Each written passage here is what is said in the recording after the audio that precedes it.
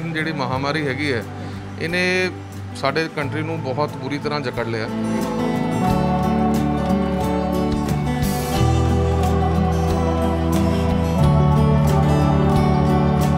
Covid ਦਾ ਬੁਖਾਰ ਜਲਦੀ ਜਲਦੀ ਟੁੱਟਦਾ ਨਹੀਂ ਹੈ। ਠੀਕ ਹੈ, ਜਿੱਦਾਂ ਬਾਕੀ ਵਾਇਰਲ ਬੁਖਾਰ ਹੁੰਦੇ ਆ, ਇਹ ਵੀ ਬੁਖਾਰ ਜਿਹੜਾ ਹੈਗਾ, ਇਹ ਲਗਾਤਾਰ 2-3 ਦਿਨ 4 ਦਿਨ 5 ਦਿਨ, ਇਹਦੇ ਨਾਲ ਕੁਝ ਹੋਰ ਸਿੰਪਟਮ ਜਿੱਦਾਂ ਕਿ ਗਲਾ ਖਰਾਬ ਹੋਣਾ, ਠੀਕ ਹੈ ਨਾ, ਜ਼ੁਕਾਮ ਵਗੈਰਾ ਹੋਣਾ ਬਾਡੀ ਏਕਸ ਜਿਹੜੀਆਂ ਹੈਗੀਆਂ, ਕਈਆਂ ਦੇ ਲਿਵਰ ਤੇ ਵੀ ਥੋੜਾ ਇਫੈਕਟ ਆਉਂਦਾ ਤਾਂ ਭੁੱਖ ਵਗੈਰਾ ਵੀ ਘਟ ਜਾਂਦੀ ਹੈ ਨੋਜ਼ੀਆ ਟਾਈਪ ਫੀਲਿੰਗ ਆਉਣ ਲੱਗ ਜਾਂਦੀ ਹੈ। ਕਿ ਸੀਬੀਸੀ ਇੱਕ ਸੀਆਰਪੀ ਕੁਆਂਟੀਟੇਟਿਵ ਤੇ ਨਾਲ ਇੱਕ ਜਿਹੜਾ ਹੈਗਾ ਬੇਸਿਕ ਟੈਸਟ ਲਿਵਰ ਦਾ ਜਿਹੜਾ ਐਲਐਫਟੀ ਹੈਗਾ, ਉਹ ਜ਼ਰੂਰੀ ਹੈਗਾ।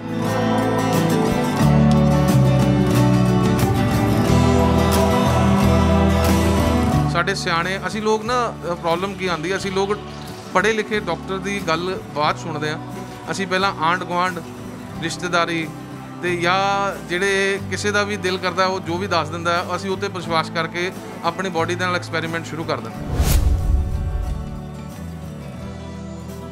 ਜਿੱਦਾਂ ਹੀ ਉਹ ਬਾਰਕੋਡ ਅਸੀਂ ਇਹਦੇ ਨੇੜੇ ਲੈ ਕੇ ਜਾਂਦੇ ਆ ਸਕੈਨਰ ਦੇ ਨੇੜੇ, ਇਹ ਬਾਰਕੋਡ ਪਿਕ ਕਰ ਲੈਂਦੀ ਮਸ਼ੀਨ ਉਸ ਤੋਂ ਬਾਅਦ ਉਹਦੀ ਸਾਰੀ ਇਨਫੋਰਮੇਸ਼ਨ ਜਿਹੜੀ ਪੇਸ਼ੈਂਟ ਦੀ ਔਰ ਟੈਸਟ ਦੀ ਹੈਗੀ ਹੈ, ਇਹ ਮਸ਼ੀਨ 'ਚ ਆਟੋਮੈਟਿਕਲੀ ਚਲੇ ਜਾਂਦੀ ਜਿੱਦਾਂ ਹੀ ਮਸ਼ੀਨ 'ਚ ਜਾਂਦੀ ਹੈ, ਉਸ ਤੋਂ ਬਾਅਦ ਜਿਹੜੀ ਇਹ ਉਹਦੇ ਟੈਸਟ ਆਪਣੇ ਆਪ ਲਗਾ ਦਿੰਦੀ ਹੈ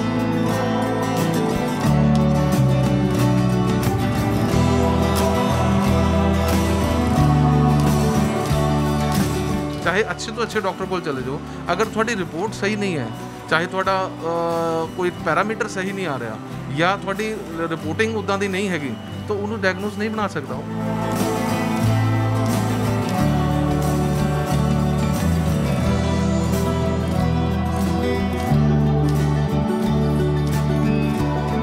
ਕੱਲ ਪਰਸੋਂ ਮੈਨੂੰ ਇੱਕ ਪੇਸ਼ੈਂਟ ਆ ਕੇ ਦੱਸ ਰਿਹਾ ਸੀਗਾ ਕਿ ਇੱਕ ਹਸਪੀਟਲ 'ਚ ਐਡਮਿਟ ਹੋਏ ਜੀ ਇੱਥੋਂ ਬੰਦਾ ਚੰਗਾ ਭਲਾ ਗਿਆ ਪਰ ਉਹ ਉੱਥੇ ਜਾ ਕੇ ਉਹਦੀ ਡੈਥ ਹੋ ਗਈ। ਇਹ ਯੰਗ ਪੇਸ਼ੈਂਟਸ 'ਚ ਹੋ ਰਿਹਾ ਉਹਦਾ ਰੀਜ਼ਨ ਹੈਗਾ ਇਹਨੂੰ ਕਹਿੰਦੇ ਹੈਪੀ ਹਾਈਪੋਕਸੀਆ ਕੋਈ ਡਾਕਟਰ ਕਹਿ ਰਿਹਾ ਕਿ ਆਕਸੀਜਨ ਲੈਵਲ ਜਿਹੜਾ ਹੈਗਾ ਉਹਨੂੰ ਕਿੱਦਾਂ ਅਸੀਂ ਸਾਨੂੰ ਸਿਲੰਡਰ ਤੋਂ ਬਿਨਾ ਵੀ ਅਸੀਂ ਆਪਣਾ ਬਣਾ ਕੇ ਰੱਖਿਆ ਜਾ ਸਕਦਾ। ਪਰ ਉਹ ਸਾਡੀ ਵੀਡੀਓ ਜਿਹੜੀ ਹੈਗੀ ਆ WHO ਦੀ ਗਾਈਡਲਾਈਨਸ ਦਾ ਹਵਾਲਾ ਦੇ ਕੇ ਡਿਲੀਟ ਕਰ ਦਿੱਤੀ ਜਾਂਦੀ ਹੈ। ਤੁਹਾਡੀ ਜਿਹੜੀ ਤੁਸੀਂ ਸਾਰੀ ਜਾਣਕਾਰੀ ਦਿੱਤੀ ਹੈ WHO ਦੀ ਗਾਈਡਲਾਈਨਸ ਦੇ ਅਕੋਰਡਿੰਗ ਠੀਕ ਹੈ? ਬਿਲਕੁਲ ਇਹ ਬਿਲਕੁਲ ਬਿਲਕੁਲ। ਬੱਚਿਆਂ ਦੀ ਜਿਹੜੀ ਰਿਪੋਰਟ ਹੈਗੀ ਆ, ਉਹ ਪੋਜ਼ਿਟਿਵ ਆਂਦੀ ਹੈ ਤੇ ਉਹਨਾਂ ਨੂੰ ਉਹਦੇ 'ਤੇ ਯਕੀਨ ਨਹੀਂ ਹੁੰਦਾ ਕਿਉਂਕਿ ਉਹ 1 ਮਹੀਨੇ ਤੋਂ ਪਹਿਲਾਂ ਆਪਣੇ ਘਰ ਦੇ ਵਿੱਚ ਸੀ। ਇਸ ਕਰਕੇ ਉਹ ਹੋਰ ਜ਼ਿਆਦਾ ਸ਼ੋਰ ਹੋਣ ਦੇ ਲਈ ਟੈਸਟ ਦੂਸਰੀ ਲੈਬੋਰਟਰੀ ਤੋਂ ਪ੍ਰਾਈਵੇਟ ਕਰਵਾ ਲੈਂਦੇ ਆ। ਤੇ ਦੂਸਰਾ ਹੀ ਦਿਨ ਜਦੋਂ ਪ੍ਰਾਈਵੇਟ ਲੈਬੋਰਟਰੀ ਤੋਂ ਜਿਹੜੀ ਰਿਪੋਰਟ ਆਂਦੀ ਹੈ ਤਾਂ ਉਹ ਉਹਨਾਂ ਦੀ ਨੈਗੇਟਿਵ ਆਂਦੀ ਹੈ ਸਰ। ਇਹਦੇ ਵਿੱਚ ਖਾਮੀ ਕਿੱਥੇ ਰਹਿੰਦੀ ਹੈ ਇਹ ਕਿਸੇ ਸਿਸਟਮ ਦੀ ਲਾਪਰਵਾਹੀ ਇਹਨੂੰ ਕਹਿ ਸਕਦੇ ਆ ਜਾਂ ਇਸ ਤਰ੍ਹਾਂ ਹੋ ਸਕਦਾ ਹੈ। ਸਭ ਤੋਂ ਜ਼ਿਆਦਾ ਇਹਦਾ ਡੇਂਜਰ ਇਹ ਹੁੰਦਾ ਕਿ ਇਹ ਫੰਗਸ ਕਿਉਂਕਿ ਨੱਕ ਦਾ ਰਸਤਾ ਜਿਹੜਾ ਹੈ ਬ੍ਰੇਨ ਦੇ ਨੇੜੇ ਨਿਕਲਦਾ ਹੈ ਔਰ ਬ੍ਰੇਨ ਔਰ ਜਿਹੜੇ ਨੱਕ ਦੇ ਉੱਪਰ ਜਾ ਕੇ ਇੱਕ ਬੜੀ ਪਤਲੀ ਜੀ ਜਾਲੀਦਾਰ ਹੁੰਦੀ ਹੈ, ਇਹ ਬ੍ਰੇਨ ਦੇ ਵਿੱਚ ਐਂਟਰ ਕਰ ਜਾਂਦੀ ਹੈ। ਕਿਉਂਕਿ ਜਦੋਂ ਇਹ ਬ੍ਰੇਨ ਚਲੀ ਜਾਂਦੀ ਹੈ, ਉਸ ਤੋਂ ਬਾਅਦ ਇਹਦਾ ਇਹਨੂੰ ਮੋੜਨਾ ਬਹੁਤ ਮੁਸ਼ਕਿਲ ਹੈ।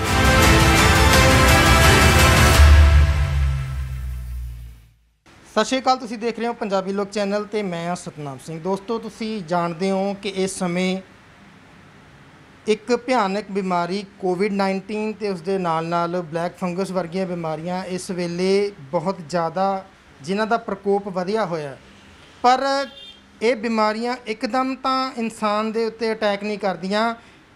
ਗਲਤੀ ਕਿੱਥੇ ਰਹਿੰਦੀ ਹੈ ਕਿ ਅਸੀਂ ਆਪਣੇ ਟੈਸਟ ਪਹਿਲਾਂ ਨਹੀਂ ਕਰਵਾਉਂਦੇ, ਪ੍ਰੀਕਾਸ਼ਨ ਨਹੀਂ ਲੈਂਦੇ, ਸਮਝਦੇ ਨਹੀਂ ਕਿ ਬਿਮਾਰੀ ਕਿਹਨੂੰ ਹੋ ਸਕਦੀ ਹੈ। ਉਹਦੇ ਲਈ ਸਾਨੂੰ ਕੀ ਟੈਸਟ ਕਰਵਾਉਣੇ ਚਾਹੀਦੇ ਨੇ? ਸੋ ਕੀ ਟੈਸਟ ਸਾਨੂੰ ਆਪਣੇ ਸਮੇਂ-ਸਮੇਂ ਦੇ ਉੱਤੇ ਕਰਵਾਉਂਦੇ ਰਹਿਣਾ ਚਾਹੀਦਾ ਹੈ ਜਾਂ ਕੋਵਿਡ-19 ਵਰਗੀਆਂ ਜਾਂ ਬਲੈਕ ਫੰਗਸ ਵਰਗੀਆਂ ਭਿਆਨਕ ਬਿਮਾਰੀਆਂ ਤੋਂ ਬਚਣ ਲਈ? ਕਿਹੜੀਆਂ ਸਾਵਧਾਨੀਆਂ ਸਾਨੂੰ ਬਿਮਾਰੀ ਲੱਗਣ ਤੋਂ ਪਹਿਲਾਂ ਹੀ ਕਰਨੀਆਂ ਚਾਹੀਦੀਆਂ ਨੇ, ਕਿੱਦਾਂ ਦੇ ਟੈਸਟ ਕਰਵਾਉਣੇ ਚਾਹੀਦੇ ਨੇ? ਉਸ ਦੀ ਜਾਣਕਾਰੀ ਲੈਣ ਲਈ ਅੱਜ ਅਸੀਂ ਰੋਪੜ ਦੀ ਡਾਕਟਰ ਸਿੰਘ ਪਾ- ਪੈਥ ਲੈਬ ਦੇ ਵਿੱਚ ਆਏ ਆ ਸਾਡੇ ਨਾਲ ਮੌਜੂਦ ਨੇ ਡਾਕਟਰ ਗਗਨਦੀਪ ਸਿੰਘ, ਜਿਹੜੇ ਕਿ ਪੈਥੋਲੋਜਿਸਟ ਨੇ। ਗੱਲਬਾਤ ਕਰਦੇ ਆ ਉਹਨਾਂ ਦੇ। ਸਤਿ ਸ਼੍ਰੀ ਅਕਾਲ ਸਰ। ਸਤਿ ਸ਼੍ਰੀ ਅਕਾਲ ਜੀ ਸਤਿ ਸ਼੍ਰੀ ਸਵਾਗਤ ਹੈ ਤੁਹਾਡਾ ਜੀ ਪੰਜਾਬੀ ਲੋਕ ਚੈਨਲ ਤੇ। ਥੈਂਕ ਯੂ ਜੀ। ਸਰ ਬਹੁਤ ਸਾਰੀਆਂ ਬਿਮਾਰੀਆਂ ਚੱਲਦੀਆਂ ਹੈ ਇਸ ਵੇਲੇ ਤਾਂ ਕੋਵਿਡ-19 ਤੇ ਬਲੈਕ ਫੰਗਸ ਦਾ ਵੀ ਕਾਫੀ ਜਿਹੜਾ ਰੌਲਾ ਹੈਗਾ ਹੈ ਤੇ ਬਿਮਾਰੀ ਫੈਲੀ ਹੋਈ ਹੈ ਕਾਫੀ ਪਹਿਲਾਂ ਮੈਂ ਇਹ ਜਾਣਨਾ ਚਾਹਾਂਗਾ ਕਿ ਬੇਸਿਕਲੀ ਜਿਹੜਾ ਕੋਵਿਡ-19 ਨਾਲ ਲੜਨ ਲਈ ਪਹਿਲਾਂ ਪ੍ਰੀਕਾਸ਼ਨਸ ਕੀ ਹੋਣੇ ਚਾਹੀਦੇ? ਕਿਹੜੇ ਟੈਸਟ ਪਹਿਲਾਂ ਕਰਵਾ ਲੈਣੇ ਚਾਹੀਦੇ? ਦੇਖੋ ਸਭ ਤੋਂ ਪਹਿਲਾਂ ਕੋਵਿਡ-19 ਜਿਹੜੀ ਮਹਾਮਾਰੀ ਹੈਗੀ ਹੈ। ਇਹਨੇ ਸਾਡੇ ਕੰਟਰੀ ਨੂੰ ਬਹੁਤ ਬੁਰੀ ਤਰ੍ਹਾਂ ਜਕੜ ਲਿਆ। ਉਹਦਾ ਰੀਜ਼ਨ ਇਹ ਵੀ ਹੈਗਾ ਕਿ ਅਸੀਂ ਆਪਣੀ ਸਿਹਤ ਦਾ ਧਿਆਨ ਜਿਹੜਾ ਹੈਗਾ ਜਿਸ ਤਰੀਕੇ ਨਾਲ ਰੱਖਣਾ ਚਾਹੀਦਾ ਉਹ ਨਹੀਂ ਰੱਖਦੇ। ਤਾਂ ਸਭ ਤੋਂ ਪਹਿਲਾਂ ਆਪਾਂ ਪ੍ਰੀਕਾਸ਼ਨਸ ਲਈਏ ਕਿ ਆਪਾਂ ਮਾਸਕ ਵਗੈਰਾ ਪ੍ਰੋਪਰ ਪਾ ਕੇ ਰੱਖੀਏ। ਪਬਲਿਕ ਦੇ ਵਿੱਚ ਜਿਹੜਾ ਹੈਗਾ ਅਸੀਂ ਨਾ ਅਗਰ ਕੋਈ ਮਜਬੂਰੀ ਹੋਵੇ ਤਾਂ ਨਾ ਨਿਕਲੀਏ। ਹੁਣ ਜ ਅਗਰ ਖੁਦਾ ਨਾ ਖਾਸਤਾ ਅਗਰ ਇਹ ਹੋ ਵੀ ਜਾਂਦਾ ਤਾਂ ਉਹਦੇ 'ਚ ਸਪੈਸ਼ਲ ਕਿਆ ਧਿਆਨ ਰੱਖਣ ਦੀ ਲੋੜ ਹੈ ਕਿ ਅਸੀਂ ਆਪਣੇ ਟੈਸਟ ਜਿਹੜੇ ਹੈਗੇ ਟਾਈਮਲੀ ਕਿਉਂਕਿ ਅਗਰ ਕਿਸੇ ਨੂੰ ਬੁਖਾਰ ਆ ਰਿਹਾ ਦੇਖੋ ਇਹ ਸੀਜ਼ਨ ਇਦਾਂ ਦਾ ਹੈਗਾ ਜਿਹਦੇ 'ਚ ਬਾਕੀ ਬੁਖਾਰ ਵੀ ਕੋਵਿਡ ਦੇ ਨਾਲ ਓਵਰਲੈਪ ਕਰਦੇ ਆ। ਅਸੀਂ ਕਈ ਵਾਰ ਪਛਾਣ ਨਹੀਂ ਪਾਉਂਦੇ ਵੀ ਇਹ ਬੁਖਾਰ ਕਿਉਂਕਿ ਪੇਸ਼ੈਂਟ ਲਈ ਮੁਸ਼ਕਿਲ ਹੋ ਜਾਂਦਾ ਘਰੇ। ਅਬ ਇਸ ਲਈ ਹੋ ਜਾਂਦੇ ਆ ਕਿ ਆਮ ਬੁਖਾਰ ਚੱਲਦਾ ਹੈ ਜਾਂ ਸਿੰਪਟਮ ਵੀ ਉਦਾਂ ਦੇ ਹੁੰਦੇ ਆ। ਬਿਲਕੁਲ ਅਸੀਂ ਕਿਸੇ ਛੋਟੇ-ਮੋਟੇ ਲੋਕਲ ਡਾਕਟਰ ਨੂੰ ਜਾਂ ਕਿਸੇ ਉਹਨੂੰ ਕਈ ਵਾਰ ਤਾਂ ਡਾਕਟਰ ਕੋਲ ਵੀ ਨਹੀਂ ਜਾਂਦੇ ਤੇ ਘਰੇ ਹੀ ਅਸੀਂ ਕੁਝ ਨੁਸਖੇ ਆਪਣੇ ਟਰਾਈ ਕਰਨ ਲੱਗ ਜਾਂਦੇ ਹਾਂ। ਸਭ ਤੋਂ ਪਹਿਲਾਂ ਤਾਂ ਇਹ ਲੋੜ ਹੈਗੀ ਕਿ ਬੁਖਾਰ ਕਿਸ ਤਰ੍ਹਾਂ ਆ ਰਿਹਾ ਔਰ ਕਿੰਨੀ ਕਿਉਂਕਿ ਕੋਵਿਡ ਦਾ ਬੁਖਾਰ ਜਲਦੀ-ਜਲਦੀ ਟੁੱਟਦਾ ਨਹੀਂ ਹੈ। ਠੀਕ ਹੈ ਜਿੱਦਾਂ ਬਾਕੀ ਵਾਇਰਲ ਬੁਖਾਰ ਹੁੰਦੇ ਆ ਇਹ ਵੀ ਬੁਖਾਰ ਜਿਹੜਾ ਹੈਗਾ ਇਹ ਲਗਾਤਾਰ 2-3 ਦਿਨ 4 ਦਿਨ 5 ਦਿਨ ਇਹਦੇ ਨਾਲ ਕੁਝ ਹੋਰ ਸਿੰਪਟਮ ਜਿੱਦਾਂ ਕਿ ਗਲਾ ਖਰਾਬ ਹੋਣਾ, ਠੀਕ ਹੈ ਨਾ, ਜ਼ੁਕਾਮ ਵਗੈਰਾ ਹੋਣਾ ਬਾਡੀ ਏਕਸ ਜਿਹੜੀਆਂ ਹੈਗੀਆਂ, ਕਈਆਂ ਦੇ ਲਿਵਰ ਤੇ ਵੀ ਥੋੜਾ ਇਫੈਕਟ ਆਂਦਾ ਤਾਂ ਭੁੱਖ ਵਗੈਰਾ ਵੀ ਘਟ ਜਾਂਦੀ ਹੈ ਨੋਜ਼ੀਆ ਟਾਈਪ ਫੀਲਿੰਗ ਆਉਣ ਲੱਗ ਜਾਂਦੀ ਹੈ। ਤਾਂ ਇਸ ਤਰ੍ਹਾਂ ਦੀ ਜਿਹੜੀ ਪ੍ਰੋਬਲਮਸ ਹੈਗੀਆਂ, ਇਹਨਾਂ ਨੂੰ ਧਿਆਨ 'ਚ ਰੱਖਦੇ ਹੋਏ ਅਸੀਂ ਕੁਝ ਬੇਸਿਕ ਟੈਸਟ ਜਿਹੜੇ ਹੈਗੇ ਆ, ਜੋ ਕਿ ਮੈਂ ਰეკਮੈਂਡ ਕਰਦਾ ਕਿ ਸੀਬੀਸੀ ਇੱਕ ਸੀਆਰਪੀ ਕੁਆਂਟੀਟੇਟਿਵ ਤੇ ਨਾਲ ਇੱਕ ਜਿਹੜਾ ਹੈਗਾ ਬੇਸਿਕ ਟੈਸਟ ਲਿਵਰ ਦਾ ਜਿਹੜਾ ਐਲਐਫਟੀ ਹੈਗਾ, ਉਹ ਜ਼ਰੂਰੀ ਹੈਗਾ। ਇਹਦੇ ਨਾਲ ਕਿਆ ਫ਼ਰਕ ਲੱਗਦਾ ਹੈ ਕਿ ਅਸੀਂ ਇਹਨੂੰ ਡਿਫਰੈਂਸ਼ੀਏਟ ਕਰ ਲੈਂਦੇ ਆ ਇਹਨੂੰ ਅਲੱਗ ਕਰ ਲੈਂਦੇ ਆ ਬਾਕੀ ਬੁਖਾਰਾਂ ਨਾਲੋਂ। ਅਗਰ ਜਾਂ ਜੇ ਨਹੀਂ ਵੀ ਉਹਦੇ 'ਚ ਅਸੀਂ ਕਰ ਪਾਉਂਦੇ ਤਾਂ ਐਟਲੀਸਟ ਇਹਦੀ ਸਵੇਟੀ ਦਾ ਪਤਾ ਲੱਗ ਜਾਂਦਾ ਕਿ ਕੋਈ ਇਸ ਤਰ੍ਹਾਂ ਤਾਂ ਨਹੀਂ ਕਿ ਇੱਕਦਮ ਇਹ ਬਹੁਤ ਜ਼ਿਆਦਾ ਵੱਧ ਰਿਹਾ ਦੇਖੋ 골ਡ ਸਟੈਂਡਰਡ ਜਿਹੜਾ ਟੈਸਟ ਹੈ ਉਹ ਆਰਟੀਪੀਸੀਆਰ ਹੀ ਹੈਗਾ।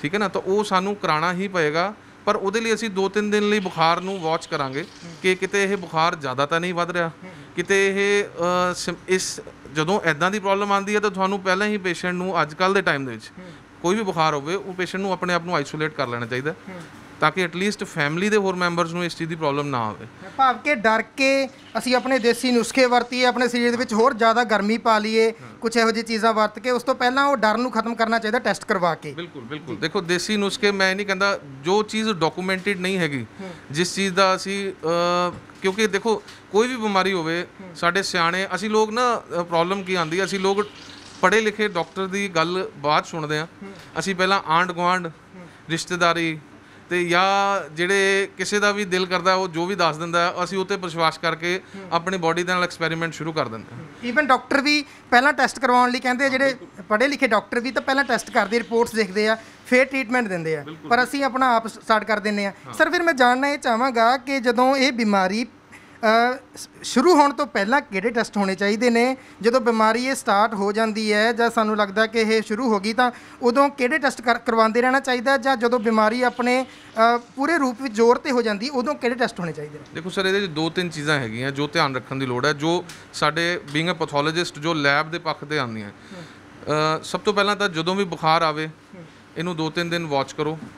ਨਾਲ ਆਪਣੀ ਬੇਸਿਕ ਜਿਹੜੀ ਐਸਓਐਸ ਮੈਡੀਸਿਨ ਹੁੰਦੀ ਹੈ ਜਿਹਨੂੰ ਅਸੀਂ ਕਹਿੰਦੇ ਆ ਕਿ ਓਵਰ ਦਾ ਕਾਊਂਟਰ ਡਰੱਗਸ ਹੈਗੀਆਂ ਜਿੱਦਾਂ ਪੈਰਾਸੀਟਾਮੋਲ ਹੈਗੀ ਹੈ ਜਾਂ ਅੱਜ ਕੱਲ ਦੇ ਟਾਈਮ ਦੇ ਵਿੱਚ ਮਲਟੀਵਿਟਾਮਿਨ ਹੈ ਜ਼ਿੰਕ ਹੈ ਉਹ ਸਾਰੇ ਇਮਿਊਨਿਟੀ ਬੂਸਟ ਕਰਨ ਲਈ ਲੈਣਾ ਚਾਹੀਦਾ ਨਾਲ ਹੀ ਜਿਹੜੇ ਆਪਣੇ ਬੇਸਿਕ ਟੈਸਟ ਹੈਗੇ ਆ, ਤਾਂ ਕਿ ਅਸੀਂ ਨਾ ਇਹ ਟੈ- ਇਹ ਬੁਖਾਰ ਨੂੰ ਵੱਖਰਾ ਕਰਨਾ ਹੈ ਬਾਕੀਆਂ ਨਾਲੋਂ। ਕਿਸੇ ਵੀ ਅਸੀਂ ਬੁਖਾਰ ਨੂੰ ਦੇਖੀਏ ਤਾਂ ਸਾਨੂੰ ਉਹਨੂੰ ਡਿਫਰੈਂਸ਼ੀਏਟ ਕਰਨਾ ਪੈਂਦਾ ਵੀ ਇਹ ਕਿਸ ਤਰ੍ਹਾਂ ਦਾ ਬੁਖਾਰ ਹੈ। ਕਿਤੇ ਇਹ ਟਾਈਫਾਇਡ ਤਾਂ ਨਹੀਂ ਹੈਗਾ। ਕਿਤੇ ਇਹ ਅੱਜ ਕੱਲ ਦੇਖੋ ਡੇਂਗੂ ਦਾ ਸੀਜ਼ਨ ਸ਼ੁਰੂ ਹੋ ਰਿਹਾ। ਡੇਂਗੂ ਵੀ ਇੱਕ ਵਾਇਰਲ ਬੁਖਾਰ ਹੈ। ਡੇਂਗੂ ਦੇ ਸਿੰਪਟਮ ਵੀ ਇਹਦੇ ਨਾਲ ਬਿਲਕੁਲ ਮੈਚ ਕਰਦੇ ਆ। ਕਾਫੀ ਹੱਦ ਤੱਕ ਠੀਕ ਹੈ ਨਾ? ਤਾਂ ਸਾਨੂੰ ਇਹ ਚੀਜ਼ਾਂ ਨੂੰ ਚੈੱਕ ਕਰਨ ਲਈ ਉਹ ਬੇਸਿਕ ਚੀਜ਼ਾਂ ਲਈ ਸਾਨੂੰ ਬੇਸਿਕ ਟੈਸਟ ਜ਼ਰੂਰੀ ਹੈਗੇ। ਜਿੱਦਾਂ ਕਿ ਮੈਂ ਤੁਹਾਨੂੰ ਦੱਸਿਆ ਕਿ ਸੀਬੀਸੀ ਹੈ। ਸੀਆਰਪੀ ਕੁਆਂਟੀਟੇਟਿਵ ਇੱਕ ਇਦਾਂ ਦਾ ਟੈਸਟ ਹੈ ਜਿਹੜਾ ਅੱਜ ਕੱਲ ਬਹੁਤ ਵਰਤੋਂ ਦੇ ਵਿੱਚ ਹੈ ਉਹਦਾ ਰੀਜ਼ਨ ਇਹ ਹੈ ਕਿ ਇਹ ਕੋਈ ਵੀ ਇਨਫੈਕਸ਼ਨ ਬਾਡੀ ਦੇ ਵਿੱਚ ਜਿਹੜੀ ਇੱਕਦਮ ਆਉਂਦੀ ਹੈ ਸੀ ਰਿਐਕਟਿਵ ਪ੍ਰੋਟੀਨ ਹੁੰਦਾ ਹੈ ਇਹਦਾ ਮਤਲਬ। ਇਹ ਸਭ ਤੋਂ ਪਹਿਲਾਂ ਵੱਧਦਾ ਹੈ ਔਰ ਕੋਵਿਡ ਦੇ ਵਿੱਚ ਬਹੁਤ ਸਪੀਡਲੀ ਵੱਧਦਾ ਹੈ ਔਰ ਬਹੁਤ ਜ਼ਿਆਦਾ ਵੱਧਦਾ ਹੈ। ਇਹਦੇ ਹੀ ਪੈਮਾਨੇ ਦੇ ਨਾਲ ਅਸੀਂ ਪੇਸ਼ੈਂਟ ਦੀ ਹਾਲਤ ਦੇ ਹਿਸਾਬ ਨਾਲ ਦੇਖ ਲੈਂਦੇ ਹਾਂ ਕਿ ਪੇਸ਼ੈਂਟ ਦੀ ਹਾਲਤ ਕਿਦਾਂ ਦੀ ਹੈ। ਨਾਲ ਇਦਾਂ ਹੈ ਕਿ ਇਹ ਸੀਆਰਪੀ ਹੋਰ ਵੀ ਬਿਮਾਰੀਆਂ 'ਚ ਵੱਧਦਾ ਹੈ ਪਰ ਕਿਉਂਕਿ ਅੱਜ ਕੱਲ ਕੋਵਿਡ ਦਾ ਸਮਾਂ ਚੱਲ ਰਿਹਾ ਜਿੱਦਾਂ ਕਿਸੇ ਨੂੰ ਯੂਰਿਨ ਦੀ ਇਨਫੈਕਸ਼ਨ ਵੀ ਹੈ ਉਹਦੇ 'ਚ ਵੀ ਸੀਆਰਪੀ ਵੱਧ ਜਾਂਦਾ ਇਸ ਕਰਕੇ ਪੈਨਿਕ ਕਰਨ ਦੀ ਲੋੜ ਨਹੀਂ ਹੈ। ਆਪਣੇ ਫਿਜ਼ੀਸ਼ੀਅਨ ਨੂੰ ਦਿਖਾਓ ਉਹਦੇ ਉਹਨੂੰ ਡਾਇਗਨੋਸ ਕਰਨ ਦਿਓ ਉਹਦੇ ਟੈਸਟ ਦੇ ਅਕੋਰਡਿੰਗਲੀ ਹੀ ਉਹ ਡਾਇਗਨੋਸ ਬਣਾਏਗਾ ਔਰ ਨਾਲ ਤੁਹਾਨੂੰ ਆਰਟੀਪੀਸੀਆਰ ਜਾਂ ਜਿਹੜਾ ਐਂਟੀਜਨ ਟੈਸਟ ਹੈਗਾ ਐਂਟੀਜਨ ਵੀ ਅਸੀਂ ਕਰ ਰਹੇ ਹਾਂ, ਉਹਦੇ ਨਾਲ ਆਰਟੀਪੀਸੀਆਰ ਹੀ ਸਾਨੂੰ ਜਿਹੜਾ ਹੈ ਗੋਲਡ ਸਟੈਂਡਰਡ ਹੈਗਾ। ਉਹ ਕਰਵਾਓ ਤਾਂ ਕਿ ਸੋ ਦੈਟ ਅਸੀਂ ਜਲਦੀ ਇਹਨੂੰ ਫੜ ਲਈਏ ਤੇ ਆਪਣੇ ਬਾਕੀ ਪਰਿਵਾਰ ਨੂੰ ਜਿਹੜਾ ਅਸੀਂ ਬਚਾ ਸਕੀਏ। ਉਸ ਤੋਂ ਬਾਅਦ ਜਦੋਂ ਫਰਜ਼ ਕਰੋ ਕਿ ਸਾਨੂੰ ਕੋਵਿਡ ਦਾ ਜਿਹੜਾ ਹੈਗਾ ਇਹ ਹੋ ਜਾਂਦਾ ਹੈ ਜਾਂ ਆਰਟੀਪੀਸੀਆਰ ਪੋਜ਼ਿਟਿਵ ਆ ਜਾਂਦਾ ਹੈ, ਤੇ ਆਹ ਟੈਸਟ ਸਾਡੇ ਜਿਹੜੇ ਹੈਗੇ ਆ, ਇਹਨਾਂ 'ਚ ਕੁਝ ਕੁਝ ਪ੍ਰੋਬਲਮਸ ਆਉਂਦੀਆਂ, ਜਿੱਦਾਂ ਸਾਡੇ ਸੀਆਰਪੀ ਹਾਈ ਆਉਣ ਲੱਗ ਗਿਆ। ਉਸ ਤੋਂ ਬਾਅਦ ਸਾਨੂੰ ਸੈਚੂਰੇਸ਼ਨ ਦੇਖਣੀ ਜ਼ਰੂਰੀ ਹੈ। ਕਿਉਂਕਿ ਕੋਵਿਡ ਜਿਹੜਾ ਹੈਗਾ ਸਭ ਤੋਂ ਪਹਿਲਾਂ ਲੰਗਸ ਨੂੰ ਇਨਵੋਲਵ ਕਰਦਾ ਹੈ। ਜਦੋਂ ਲੰਗਸ ਤੇ ਇਹ ਜਾਂਦਾ ਹੈ ਤਾਂ ਉਹ ਪੇਸ਼ੈਂਟ ਦੀ ਸੈਚੂਰੇਸ਼ਨ ਫਾਲ ਕਰਨ ਲੱਗ ਜਾਂਦੀ ਹੈ। ਕਈ ਵਾਰ ਅਸੀਂ ਡਰਦੇ ਹਾਂ ਕਿ ਅਸੀਂ ਹਸਪਤਾਲ ਐਡਮਿਟ ਨਾ ਹੋ ਜਾਈਏ। ਕਿਤੇ ਸਾਨੂੰ ਉਹ ਜਿਹੜਾ ਹੈਗਾ ਵਾਰਡ ਦੇ ਵਿੱਚ ਐਡਮਿਟ ਕਰਕੇ ਆਪਣੇ ਉਹਦੇ ਤੋਂ ਨਾ ਅਲੱਗ ਕਰ ਦੇਣ। ਠੀਕ ਹੈ ਨਾ? ਇਹ ਡਰ ਹੁੰਦਾ ਪਰ ਦੇਖੋ, ਆਕਸੀਜਨ ਸੈਚੂਰੇਸ਼ਨ ਕਈ ਪੇਸ਼ੈਂਟਸ ਦੀ ਮੈਂ ਦੇਖਦਾ ਕਿ ਇੰਨੀ ਫਾਲ ਕਰ ਜਾਂਦੀ ਹੈ ਕਿ ਉਹ ਫਿਰ ਵੀ ਘਰੇ ਬੈਠੇ ਰਹਿੰਦੇ ਆ। ਹੁਣ ਕੱਲ ਪਰਸੋਂ ਮੈਨੂੰ ਇੱਕ ਪੇਸ਼ੈਂਟ ਆ ਕੇ ਦੱਸ ਰਿਹਾ ਸੀਗਾ ਕਿ ਇੱਕ ਹਸਪੀਟਲ 'ਚ ਐਡਮਿਟ ਹੋਏ ਜੀ, ਇੱਥੋਂ ਬੰਦਾ ਚੰਗਾ ਭਲਾ ਗਿਆ, ਪਰ ਉਹ ਉੱਥੇ ਜਾ ਕੇ ਉਹਦੀ ਡੈਥ ਹੋ ਗਈ। ਇਹ ਯੰਗ ਪੇਸ਼ੈਂਟਸ 'ਚ ਹੋ ਰਿਹਾ। ਉਹਦਾ ਰੀਜ਼ਨ ਹੈਗਾ, ਇਹਨੂੰ ਕਹਿੰਦੇ ਹੈਪੀ ਹਾਈਪੋਕਸੀਆ ਹੈਪੀ ਹਾਈਪੋਕਸੀਆ ਦਾ ਮਤਲਬ ਇਹ ਹੈ ਕਿ ਪੇਸ਼ੈਂਟ ਯੰਗ ਹੈ, ਉਹ ਆਕਸੀਜਨ ਮੇਨਟੇਨ ਕਰ ਪਾ ਰਿਹਾ ਈਵਨ 77 ਤੇ 80 ਤੇ। 80% ਤੇ ਵੀ ਉਹਨੂੰ ਮਹਿਸੂਸ ਨਹੀਂ ਹੁੰਦਾ ਯੰਗ ਪੇਸ਼ੈਂਟ ਨੂੰ। ਕਿਉਂਕਿ ਉਹਨੂੰ ਸਾਹ ਨਹੀਂ ਉਦਾਂ ਚੜਦਾ। ਪਰ ਜਦੋਂ ਬਹੁਤ ਜ਼ਿਆਦਾ ਆਕਸੀਜਨ ਲੈਵਲ ਡਾਊਨ ਆ ਜਾਂਦਾ ਉਸ ਸਮੇਂ ਬਿਲਕੁਲ ਫਿਰ ਹਾਲਤ ਹਾਂ ਉਸ ਸਮੇਂ ਪੇਸ਼ੈਂਟ ਤੁਹਾਨੂੰ ਪਤਾ ਵੀ ਨਹੀਂ ਲੱਗਦਾ ਪੇਸ਼ੈਂਟ ਗੱਲਾਂ ਕਰਦਾ ਹੀ ਯੂ ਲਾਸ ਦਾ ਪੇਸ਼ੈਂਟ ਤਾਂ ਇਸ ਕਰਕੇ ਉਹ ਕਈ ਵਾਰ ਹਸਪਤਾਲ ਪਹੁੰਚਦਾ ਹੈ ਤੇ ਉਹ ਉੱਥੇ ਜਾ ਕੇ ਇੱਕਦਮ ਉਹਦੀ ਆਕਸੀਜਨ ਫਾਲ ਕਰ ਜਾਂਦੀ ਹੈ ਉਹਦੇ ਆਰਗਨਸ ਉਹਦਾ ਜਵਾਬ ਦੇ ਜਾਂਦੇ ਆ। ਪੇਸ਼ੈਂਟ ਨੂੰ ਇੱਕਦਮ ਬ੍ਰੇਨ ਤੇ ਇਫੈਕਟ ਹੋ ਜਾਂਦਾ। ਤਾਂ ਉਹ ਕਹਿੰਦੇ ਪੇਸ਼ੈਂਟ ਤਾਂ ਜਿਹਦਾ ਡੈਥ ਹੋ ਗਈ ਹਸਪੀਟਲ ਜਾਣ ਤੋਂ ਬਾਅਦ ਹੋਈ ਹੈ। ਤਾਂ ਇਹ ਇੱਕ ਮਿਥ ਹੈ। ਹਸਪੀਟਲਸ ਕਦੀ ਵੀ ਕਿਸੇ ਦਾ ਨੁਕਸਾਨ ਕਰਨ ਲਈ ਨਹੀਂ ਬਣੇ ਹੁੰਦੇ। ਅਸੀਂ ਲੋਕ ਡਾਕਟਰਸ ਸਾਰੇ ਸੇਵਾ ਕਰਨ ਲਈ ਹੀ ਆ ਪਰ ਇਹ ਹੈ ਕਿ ਅਸ- ਸਾਨੂੰ ਆਪ ਆਪਣਾ ਧਿਆਨ ਰੱਖਣਾ ਪਹਿਲਾਂ ਜ਼ਿਆਦਾ ਜ਼ਰੂਰੀ ਹੈ। ਤਾਂ ਉਸ ਤੋਂ ਬਾਅਦ ਅਗਰ ਸਵੇਟੀ ਜ਼ਿਆਦਾ ਹੈ, ਤਾਂ ਇਹਦੇ ਨਾਲ ਇੱਕ ਟੈਸਟ ਹੋਰ ਹੁੰਦਾ ਡੀ ਡਾਈਮਰ ਡੀ ਡਾਈਮਰ ਜਿਹੜਾ ਹੈਗਾ, ਇਹ ਕੋਵਿਡ ਦੇ ਵਿੱਚ ਕਿਆ ਹੈ ਕਲੌਟਿੰਗ ਹੋਣ ਲੱਗ ਜਾਂਦੀ ਹੈ। ਇਹਨੂੰ ਕਹਿੰਦੇ ਕੋਗੂਲੇਸ਼ਨ ਪਾਥਵੇ ਐਕਟੀਵੇਟ ਹੋਣ ਲੱਗ ਜਾਂਦਾ ਕਿਉਂਕਿ ਇਹ ਛੋਟੀਆਂ ਨਾੜੀਆਂ ਨੂੰ ਜਾ ਕੇ ਸੁਜਾ ਦਿੰਦਾ ਉਹਦੇ ਨਾਲ ਕੀ ਹੁੰਦਾ ਕਿ ਜਿਹੜੇ ਬਲੱਡ ਦੇ ਵਿੱਚ ਹੈ ਕਲੌਟਸ ਬਣਨ ਲੱਗ ਜਾਂਦੇ। ਹੁਣ ਯੰਗ ਪੇਸ਼ੈਂਟ ਨੂੰ ਕਈ ਵਾਰ ਕਲੌਟ ਦੇ ਉਹਨੇ ਤੰਗ ਨਹੀਂ ਕਰਦੇ, ਪਰ ਜਿਹੜਾ ਪੇਸ਼ੈਂਟ ਆਲਰੇਡੀ ਜਿਹੜਾ ਹੈਗਾ ਹਾਰਟ ਦਾ ਮਰੀਜ਼ ਹੈਗਾ ਜਾਂ ਉਹਨੂੰ ਕੋਈ ਹੋਰ ਨਾਲ ਪ੍ਰੋਬਲਮ ਹੈਗੀ ਹੈ, ਉਹਨਾਂ ਕੇਸਿਸ ਦੇ ਵਿੱਚ ਇਹ ਕਲੌਟ ਸਟ੍ਰੋਕ ਵੀ ਕਰ ਸਕਦੇ ਆ ਇਹ ਹਾਰਟ ਅਟੈਕ ਵੀ ਕਰ ਸਕਦੇ ਆ ਤਾਂ ਇਹ ਇਸ ਕਰਕੇ ਸਾਨੂੰ ਡੀ ਡਾਈਮਰ ਇੱਕ ਟੈਸਟ ਹੈਗਾ, ਉਹ ਸਾਨੂੰ ਨਾਲ ਕਰਾਉਣਾ ਪੈਂਦਾ ਇਹਨਾਂ ਪੇਸ਼ੈਂਟਸ ਦਾ ਬੇਸਲਾਈਨ ਦੇਖਣ ਲਈ, ਕਿਉਂਕਿ ਕਈ ਵਾਰ ਡੀ ਡਾਈਮਰ ਬਹੁਤ ਜ਼ਿਆਦਾ ਹਾਈ ਹੁੰਦਾ ਹੈ ਜਾਂ ਉਨੀ ਕੁ ਰੇਂਜ 'ਚ ਹੁੰਦਾ ਫਿਰ ਸਾਨੂੰ ਖੂਨ ਪਤਲਾ ਕਰਨ ਵਾਲੀ ਦਵਾਈ ਸ਼ੁਰੂ ਕਰਨੀ ਪੈਂਦੀ ਹੈ। ਇਸ ਤੋਂ ਜ਼ਿਆਦਾ ਸਵੇਰ ਹੋਣ ਤੋਂ ਬਾਅਦ ਅਗਰ ਪੇਸ਼ੈਂਟ ਦੀ ਸਵੇਰਟੀ ਪਹਿਲਾਂ ਤਾਂ ਹਸਪੀਟਲ ਐਡਮਿਟ ਹੋਣਾ ਬਹੁਤ ਜ਼ਰੂਰੀ ਹੈ ਇਸ ਕੇਸ 'ਚ। ਫਿਰ ਇੱਕ ਟੈਸਟ IL6 ਹੁੰਦਾ ਹੈ ਇੰਟਰਲਿਊਕਿਨ 6 ਕਹਿੰਦੇ ਆ। ਉਹ ਅਸੀਂ ਮੋਡਰੇਟ ਪੇਸ਼ੈਂਟਸ 'ਚ ਕਰਦੇ ਆ ਜਿਨ੍ਹਾਂ ਦੀ ਸਵੇਰਟੀ ਮੋਡਰੇਟ ਹੁੰਦੀ ਹੈ। ਉਹ ਟੈਸਟ ਜਿਹੜਾ ਹੈ ਸਾਈਟੋਕਾਈਨ ਸਟਾਰਮ ਕਹਿੰਦੇ ਉਹਨੂੰ। ਜਦੋਂ ਕੋਈ ਬਾਡੀ ਦੇ ਵਿੱਚ ਆਪਣੀ ਰਿਐਕਸ਼ਨ ਪੈਦਾ ਹੁੰਦਾ ਸਾਈਟੋਕਾਈਨਸ ਰਿਲੀਜ਼ ਹੁੰਦੇ ਆ, ਉਹਦੇ ਨਾਲ ਬਾਡੀ ਨੂੰ ਹੋਰ ਵੀ ਡੈਮੇਜ ਹੁੰਦਾ ਜਿਹਦੇ ਨਾਲ ਉਹਦੇ ਆਰਗਨਸ ਤੇ ਵੀ ਅਸਰ ਪੈਂਦਾ, ਬਾਕੀ ਵੀ ਚੀਜ਼ਾਂ ਤੇ ਅਸਰ ਪੈਂਦਾ। ਇਹ ਟੈਸਟ ਜਿਹੜੇ ਹੈਗੇ ਆ, ਇਹ ਹਰ ਜੋ ਪ੍ਰੋਟੋਕਾਲ ਹੈਗਾ ਜਿਹੜੇ ਕੋਵਿਡ ਪੇਸ਼ੈਂਟਸ ਆ, ਉਹਨਾਂ ਨੂੰ 3 ਤੋਂ 4 ਦਿਨ ਬਾਅਦ ਜਦ ਤੱਕ ਉਹਨਾਂ ਦਾ ਡਿਸੀਜ਼ ਪ੍ਰੋਗਰੈਸ ਕਰਦਾ ਇਹ ਰਿਪੀਟ ਕਰਾਣੇ ਪੈਂਦੇ ਆ। ਅਗਰ ਪੇਸ਼ੈਂਟ ਠੀਕ ਚੱਲ ਰਿਹਾ, ਉਹਦੇ ਇੱਕ ਦੋ ਵਾਰ ਸਹੀ ਆਇਆ, ਉਸ ਤੋਂ ਬਾਅਦ ਉਹਨੂੰ ਰਿਪੀਟ ਕਰਾਉਣ ਦੀ ਲੋੜ ਨਹੀਂ। ਪਰ ਸੁਚੇਤ ਹੋਣ ਦੀ ਲੋੜ ਹੈ, ਇਹ ਟੈਸਟ ਨਾਲ ਤੁਹਾਡਾ ਹੀ ਫਾਇਦਾ ਜੇ ਅਸੀਂ ਆਪਣੇ ਆਪ ਨੂੰ ਟੈਸਟਾਂ ਦੇ ਨਾਲ ਸਹੀ ਪਾ- ਪਾਉਂਦੇ ਆ ਤਾਂ ਅਸੀਂ ਹੋਮ ਆਈਸੋਲੇਸ਼ਨ 'ਚ ਵੀ ਬੜੇ ਆਰਾਮ ਨਾਲ ਰਹਿ ਸਕਦੇ ਹਾਂ। ਔਰ ਸਾਨੂੰ ਡਾਕਟਰ ਨਾਲ ਇਨ ਟੱਚ ਹੋਣ ਲਈ ਥੋੜੀ ਲੋੜ ਹੈਗੀ ਹੈ। ਫਿਰ ਵੀ ਆਪਣੇ ਡਾਕਟਰ ਨਾਲ ਫਿਰ ਵੀ ਕੰਸਰਨ ਕਰੋ, ਕਿਉਂਕਿ ਡਾਕਟਰ ਜਿਹੜਾ ਹੈਗਾ ਉਹ ਬੈਟਰ ਜੱਜ ਹੈ। ਕਈ ਵਾਰ ਅਸੀਂ ਘਰੇ ਬੈਠ ਕੇ ਬਹੁਤ ਸਾਰੀਆਂ ਗੱਲਾਂ ਸੋਚ ਲੈਂਦੇ ਹਾਂ, YouTube ਤੇ ਪੜ੍ਹਦੇ ਹਾਂ ਨੈਟ ਤੇ ਪੜ੍ਹਦੇ ਹਾਂ ਕੁਝ ਲੋਕੀ ਅੱਜ ਕੱਲ ਕਿਉਂਕਿ ਕੋਵਿਡ ਦਾ ਟਾਈਮ ਹੈਗਾ, ਬਹੁਤ ਸਾਰੀ ਚੀਜ਼ਾਂ ਦੀ ਇਜਾਦ ਕਰਨ ਤੇ ਲੱਗੇ ਹੋਏ ਆ ਠੀਕ ਹੈ? ਹਰ ਚੀਜ਼ ਜਿਹੜੀ ਸਰਟੀਫਾਈਡ ਹੈ, ਉਹਨੂੰ ਹੀ ਮੰਨੀਏ। ਉਹਦੇ ਵੱਲ ਹੀ ਆਪਾਂ ਜੋ ਪ੍ਰੋਟੋਕਾਲ ਸੈੱਟ ਹੈ, ਉਹਦੇ ਨਾਲ ਹੀ ਚੱਲੀਏ। ਤਾਂ ਇਹ ਬਿਮਾਰੀ ਨੂੰ ਹਰਾਇਆ ਜਾ ਸਕਦਾ ਹੈ। ਸਰ ਸਰਟੀਫਾਈਡ ਦੇ ਨਾਲ ਜਿਹੜੀਆਂ ਕੁਝ ਡਾਕਟਰਸ ਹੈਗੇ ਆ ਕੁਆਲੀਫਾਈਡ ਡਾਕਟਰ ਆ, ਵਧੀਆ ਹਸਪੀਟਲਸ ਦੇ ਵਿੱਚ ਕੰਮ ਕਰ ਰਹੇ ਆ। ਉਹ ਜਦੋਂ ਆਪਣੀਆਂ ਵੀਡੀਓਜ਼ ਪਾਉਂਦੇ ਆ, ਆਪਣੇ ਸੁਝਾਅ ਰੱਖਦੇ ਆ ਸੋਸ਼ਲ ਮੀਡੀਆ ਦੇ ਦੁਆਰਾ, ਤਾਂ ਇਹ ਕਹਿ ਦਿੱਤਾ ਜਾਂਦਾ ਕਿ ਇਹ ਜਿਹੜੀਆਂ ਜਾਣਕਾਰੀਆਂ ਇਹ ਦੇ ਰਹੇ ਆ WHO ਦੇ ਜਿਹੜੀ ਹੈ ਗਾਈਡਲਾਈਨਸ ਆ, ਉਹਦੇ ਅਕੋਰਡਿੰਗ ਠੀਕ ਨਹੀਂ ਆ। ਅਸੀਂ ਵੀ ਇੱਕ ਵੀਡੀਓ ਇਸ ਤਰ੍ਹਾਂ ਦੀ ਚੈਨਲ ਦੁਆਰਾ ਸ਼ੇਅਰ ਕੀਤੀ ਜਾਂਦੀ ਹੈ ਕਿ ਕੋਈ ਡਾਕਟਰ ਕਹਿ ਰਿਹਾ ਕਿ ਆਕਸੀਜਨ ਲੈਵਲ ਜਿਹੜਾ ਹੈਗਾ ਉਹਨੂੰ ਕਿੱਦਾਂ ਅਸੀਂ ਸਾਨੂੰ ਸਿਲੰਡਰ ਤੋਂ ਬਿਨਾ ਵੀ ਅਸੀਂ ਆਪਣਾ ਬਣਾ ਕੇ ਰੱਖਿਆ ਜਾ ਸਕਦਾ ਪਰ ਉਹ ਸਾਡੀ ਵੀਡੀਓ ਜਿਹੜੀ ਹੈਗੀ ਆ ਅ, WHO ਦੀ ਗਾਈਡਲਾਈਨਸ ਦਾ ਹਵਾਲਾ ਦੇ ਕੇ ਡਿਲੀਟ ਕਰ ਦਿੱਤੀ ਜਾਂਦੀ ਹੈ। ਤੁਹਾਡੀ ਇਹ ਜਿਹੜੀ ਤੁਸੀਂ ਸਾਰੀ ਜਾਣਕਾਰੀ ਦਿੱਤੀ ਹੈ WHO ਦੀ ਗਾਈਡਲਾਈਨਸ ਦੇ ਅਕੋਰਡਿੰਗ ਠੀਕ ਹੈ ਬਿਲਕੁਲ ਇਹ? ਬਿਲਕੁਲ ਬਿਲਕੁਲ। ਇਹ ਜਿਹੜੀ WHO ਦੀ ਗਾਈਡਲਾਈਨਸ ਹੈਗੀਆਂ ਦੇਖੋ ਜਿਹੜੇ ਫਿਜ਼ੀਸ਼ੀਅਨਸ ਹੈਗੇ ਆ ਉਹ ਕਿਸੇ ਵੀ ਮੁਲਕ ਦਾ ਜਿਹੜਾ ਹੈਲਥ ਸਿਸਟਮ ਹੈਗਾ ਉਹ ਆਪਣਾ ਇੱਕ ਪ੍ਰੋਟੋਕਾਲ ਸੈੱਟ ਕਰਕੇ ਚੱਲਦਾ ਠੀਕ ਹੈ ਨਾ? ਕਿਸੇ ਵੀ ਬਿਮਾਰੀ 'ਚ। ਇਹ ਸਿਰਫ ਕੋਵਿਡ ਨਹੀਂ ਹੈ ਕੋਈ ਵੀ ਬਿਮਾਰੀ ਹੈ ਸਵਾਈਨ ਫਲੂ ਆਇਆ ਕੁਝ ਹੋਰ ਆਇਆ ਇਹ ਸਾਰਿਆਂ ਦੇ ਵਿੱਚ ਇੱਕ ਪ੍ਰੋਟੋਕਾਲ ਸੈੱਟ ਹੁੰਦਾ ਉਹ ਪ੍ਰੋਟੋਕਾਲਸ ਦੇ ਅਕੋਰਡਿੰਗਲੀ ਹੀ ਇਹ ਅਪਡੇਟ ਹੁੰਦਾ ਰਹਿੰਦਾ ਪ੍ਰੋਟੋਕਾਲ ਜਿੱਦਾਂ ਜਿੱਦਾਂ ਸਾਨੂੰ ਹਾਇਰ ਬਾਡੀ ਜਿਹੜੀ ਹੈਗੀ ਹੈ ਜੋ ਕਿ WHO ਹੈਗੀ ਹੈ ਜੋ ਜਿੱਥੇ ਰਿਸਰਚ ਦੀ ਜਿੰਨੀ ਰਿਸਰਚ ਹੋ ਰਹੀ ਹੈ ਉਹ ਸਾਰਿਆਂ ਦਾ ਇੱਕ ਕਹਿੰਦੇ ਸਿੱਟਾ ਕੱਢਿਆ ਜਾਂਦਾ ਨਿਚੋੜ ਕੱਢਿਆ ਜਾਂਦਾ। ਉਹਦੇ ਅਕੋਰਡਿੰਗਲੀ ਉਹ ਸਾਰੇ ਕੰਟਰੀਜ਼ ਨੂੰ ਗਾਈਡਲਾਈਨਸ ਮਿਲਦੀਆਂ। ਔਰ ਉਹ ਗਾਈਡਲਾਈਨ ਕੁਝ ਆਪਣੇ ਹੈਲਥ ਜਿਹੜਾ ਸਿਸਟਮ ਹੈਗਾ ਉਹ ਵੀ ਆਪਣੇ ਰਿਸਰਚ ਦੇ ਅਕੋਰਡਿੰਗਲੀ ਬਣਾਉਂਦਾ। ਉਹ ਸਾਨੂੰ ਉਹੀ ਗਾਈਡਲਾਈਨਸ ਮੰਨਣੀਆਂ ਜਿਹੜੀਆਂ ਹੈਗੀਆਂ ਉਹ ਜ਼ਰੂਰੀ ਹੁੰਦੀਆਂ। ਕੁਝ ਚੀਜ਼ਾਂ ਜੋ ਪ੍ਰੂਵਨ ਹੈਗੀਆਂ ਜਿੱਦਾਂ ਅਸੀਂ ਕਹੀਏ ਕਿ ਜਿਹੜੀ ਸੈਚੂਰੇਸ਼ਨ ਹੈਗੀ ਹੈ ਉਹ ਪ੍ਰੋਨ ਹੋਏ ਤੇ ਠੀਕ ਹੈ ਨਾ? ਉਹਦੇ ਨਾਲ ਜਿਹੜੀ ਹੈਗੀ ਹੈ, ਤੁਸੀਂ ਪ੍ਰੋਨ ਬੈਠਦੇ ਹੋ ਤਾਂ ਸੈਚੂਰੇਸ਼ਨ 3 ਤੋਂ 4% ਠੀਕ ਹੋ ਜਾਂਦੀ ਹੈ। ਇਹ ਪ੍ਰੂਵਨ ਫੈਕਟਸ ਹੈਗੇ ਆ। ਇਹਦੇ 'ਚ ਤੁਸੀਂ ਡਿਨਾਈ ਨਹੀਂ ਕਰ ਸਕਦੇ। ਇਹ ਤਾਂ ਨੋਟਮੀਕਲ ਜਿਹੜੀ ਚੀਜ਼ਾਂ ਹੈਗੀਆਂ ਵੀ ਅਸੀਂ ਅਗਰ ਛਾ- ਛਾਤੀ ਦੇ ਭਾਰ ਬੈਠਦੇ ਆ ਜਾਂ ਲੇਟਦੇ ਆ ਸੌਰੀ ਤਾਂ ਉਹਦੇ ਨਾਲ ਜਿਹੜਾ ਹੈਗਾ ਇਹ ਸੈਚੂਰੇਸ਼ਨ ਇਨਕਰੀਜ਼ ਹੁੰਦੀ ਹੈ। ਬਾਕੀ ਜਿਹੜੀ ਚੀਜ਼ਾਂ ਹੈ ਜੋ ਐਕਸਪੈਰੀਮੈਂਟਲ ਹੈਗੀਆਂ, ਉਹਦੀ ਅਕਾਊਂਟੇਬਿਲਿਟੀ ਕੌਣ ਲਏਗਾ? ਕੱਲ ਕਿਸੇ ਮਰੀਜ਼ ਨੂੰ ਕਿਸੇ ਚੀਜ਼ ਦੀ ਪ੍ਰੋਬਲਮ ਆ ਜਾਂਦੀ ਹੈ ਉਹਦੀ ਅਕਾਊਂਟੇਬਿਲਿਟੀ ਕੌਣ ਲਏਗਾ? ਇਹ ਗਵਰਨਮੈਂਟ ਜੋ ਸੈੱਟ ਕੀਤਾ ਹੋਇਆ ਜਾਂ ਜੋ ਹੈਲਥ ਬੋਡੀ ਨੇ ਸੈੱਟ ਕੀਤੀ ਹੈ ਉਹਦੇ ਤੇ ਤਾਂ ਅਸੀਂ ਚੱਲ ਸਕਦੇ ਹਾਂ ਕਿ ਹਾਂ ਇਹ ਅਕਾਊਂਟੇਬਿਲਿਟੀ ਹੈ ਸਾਡੀ ਕਿਉਂਕਿ ਇਹ ਸਾਨੂੰ ਉੱਪਰੋਂ ਆਰਡਰਸ ਹੈ।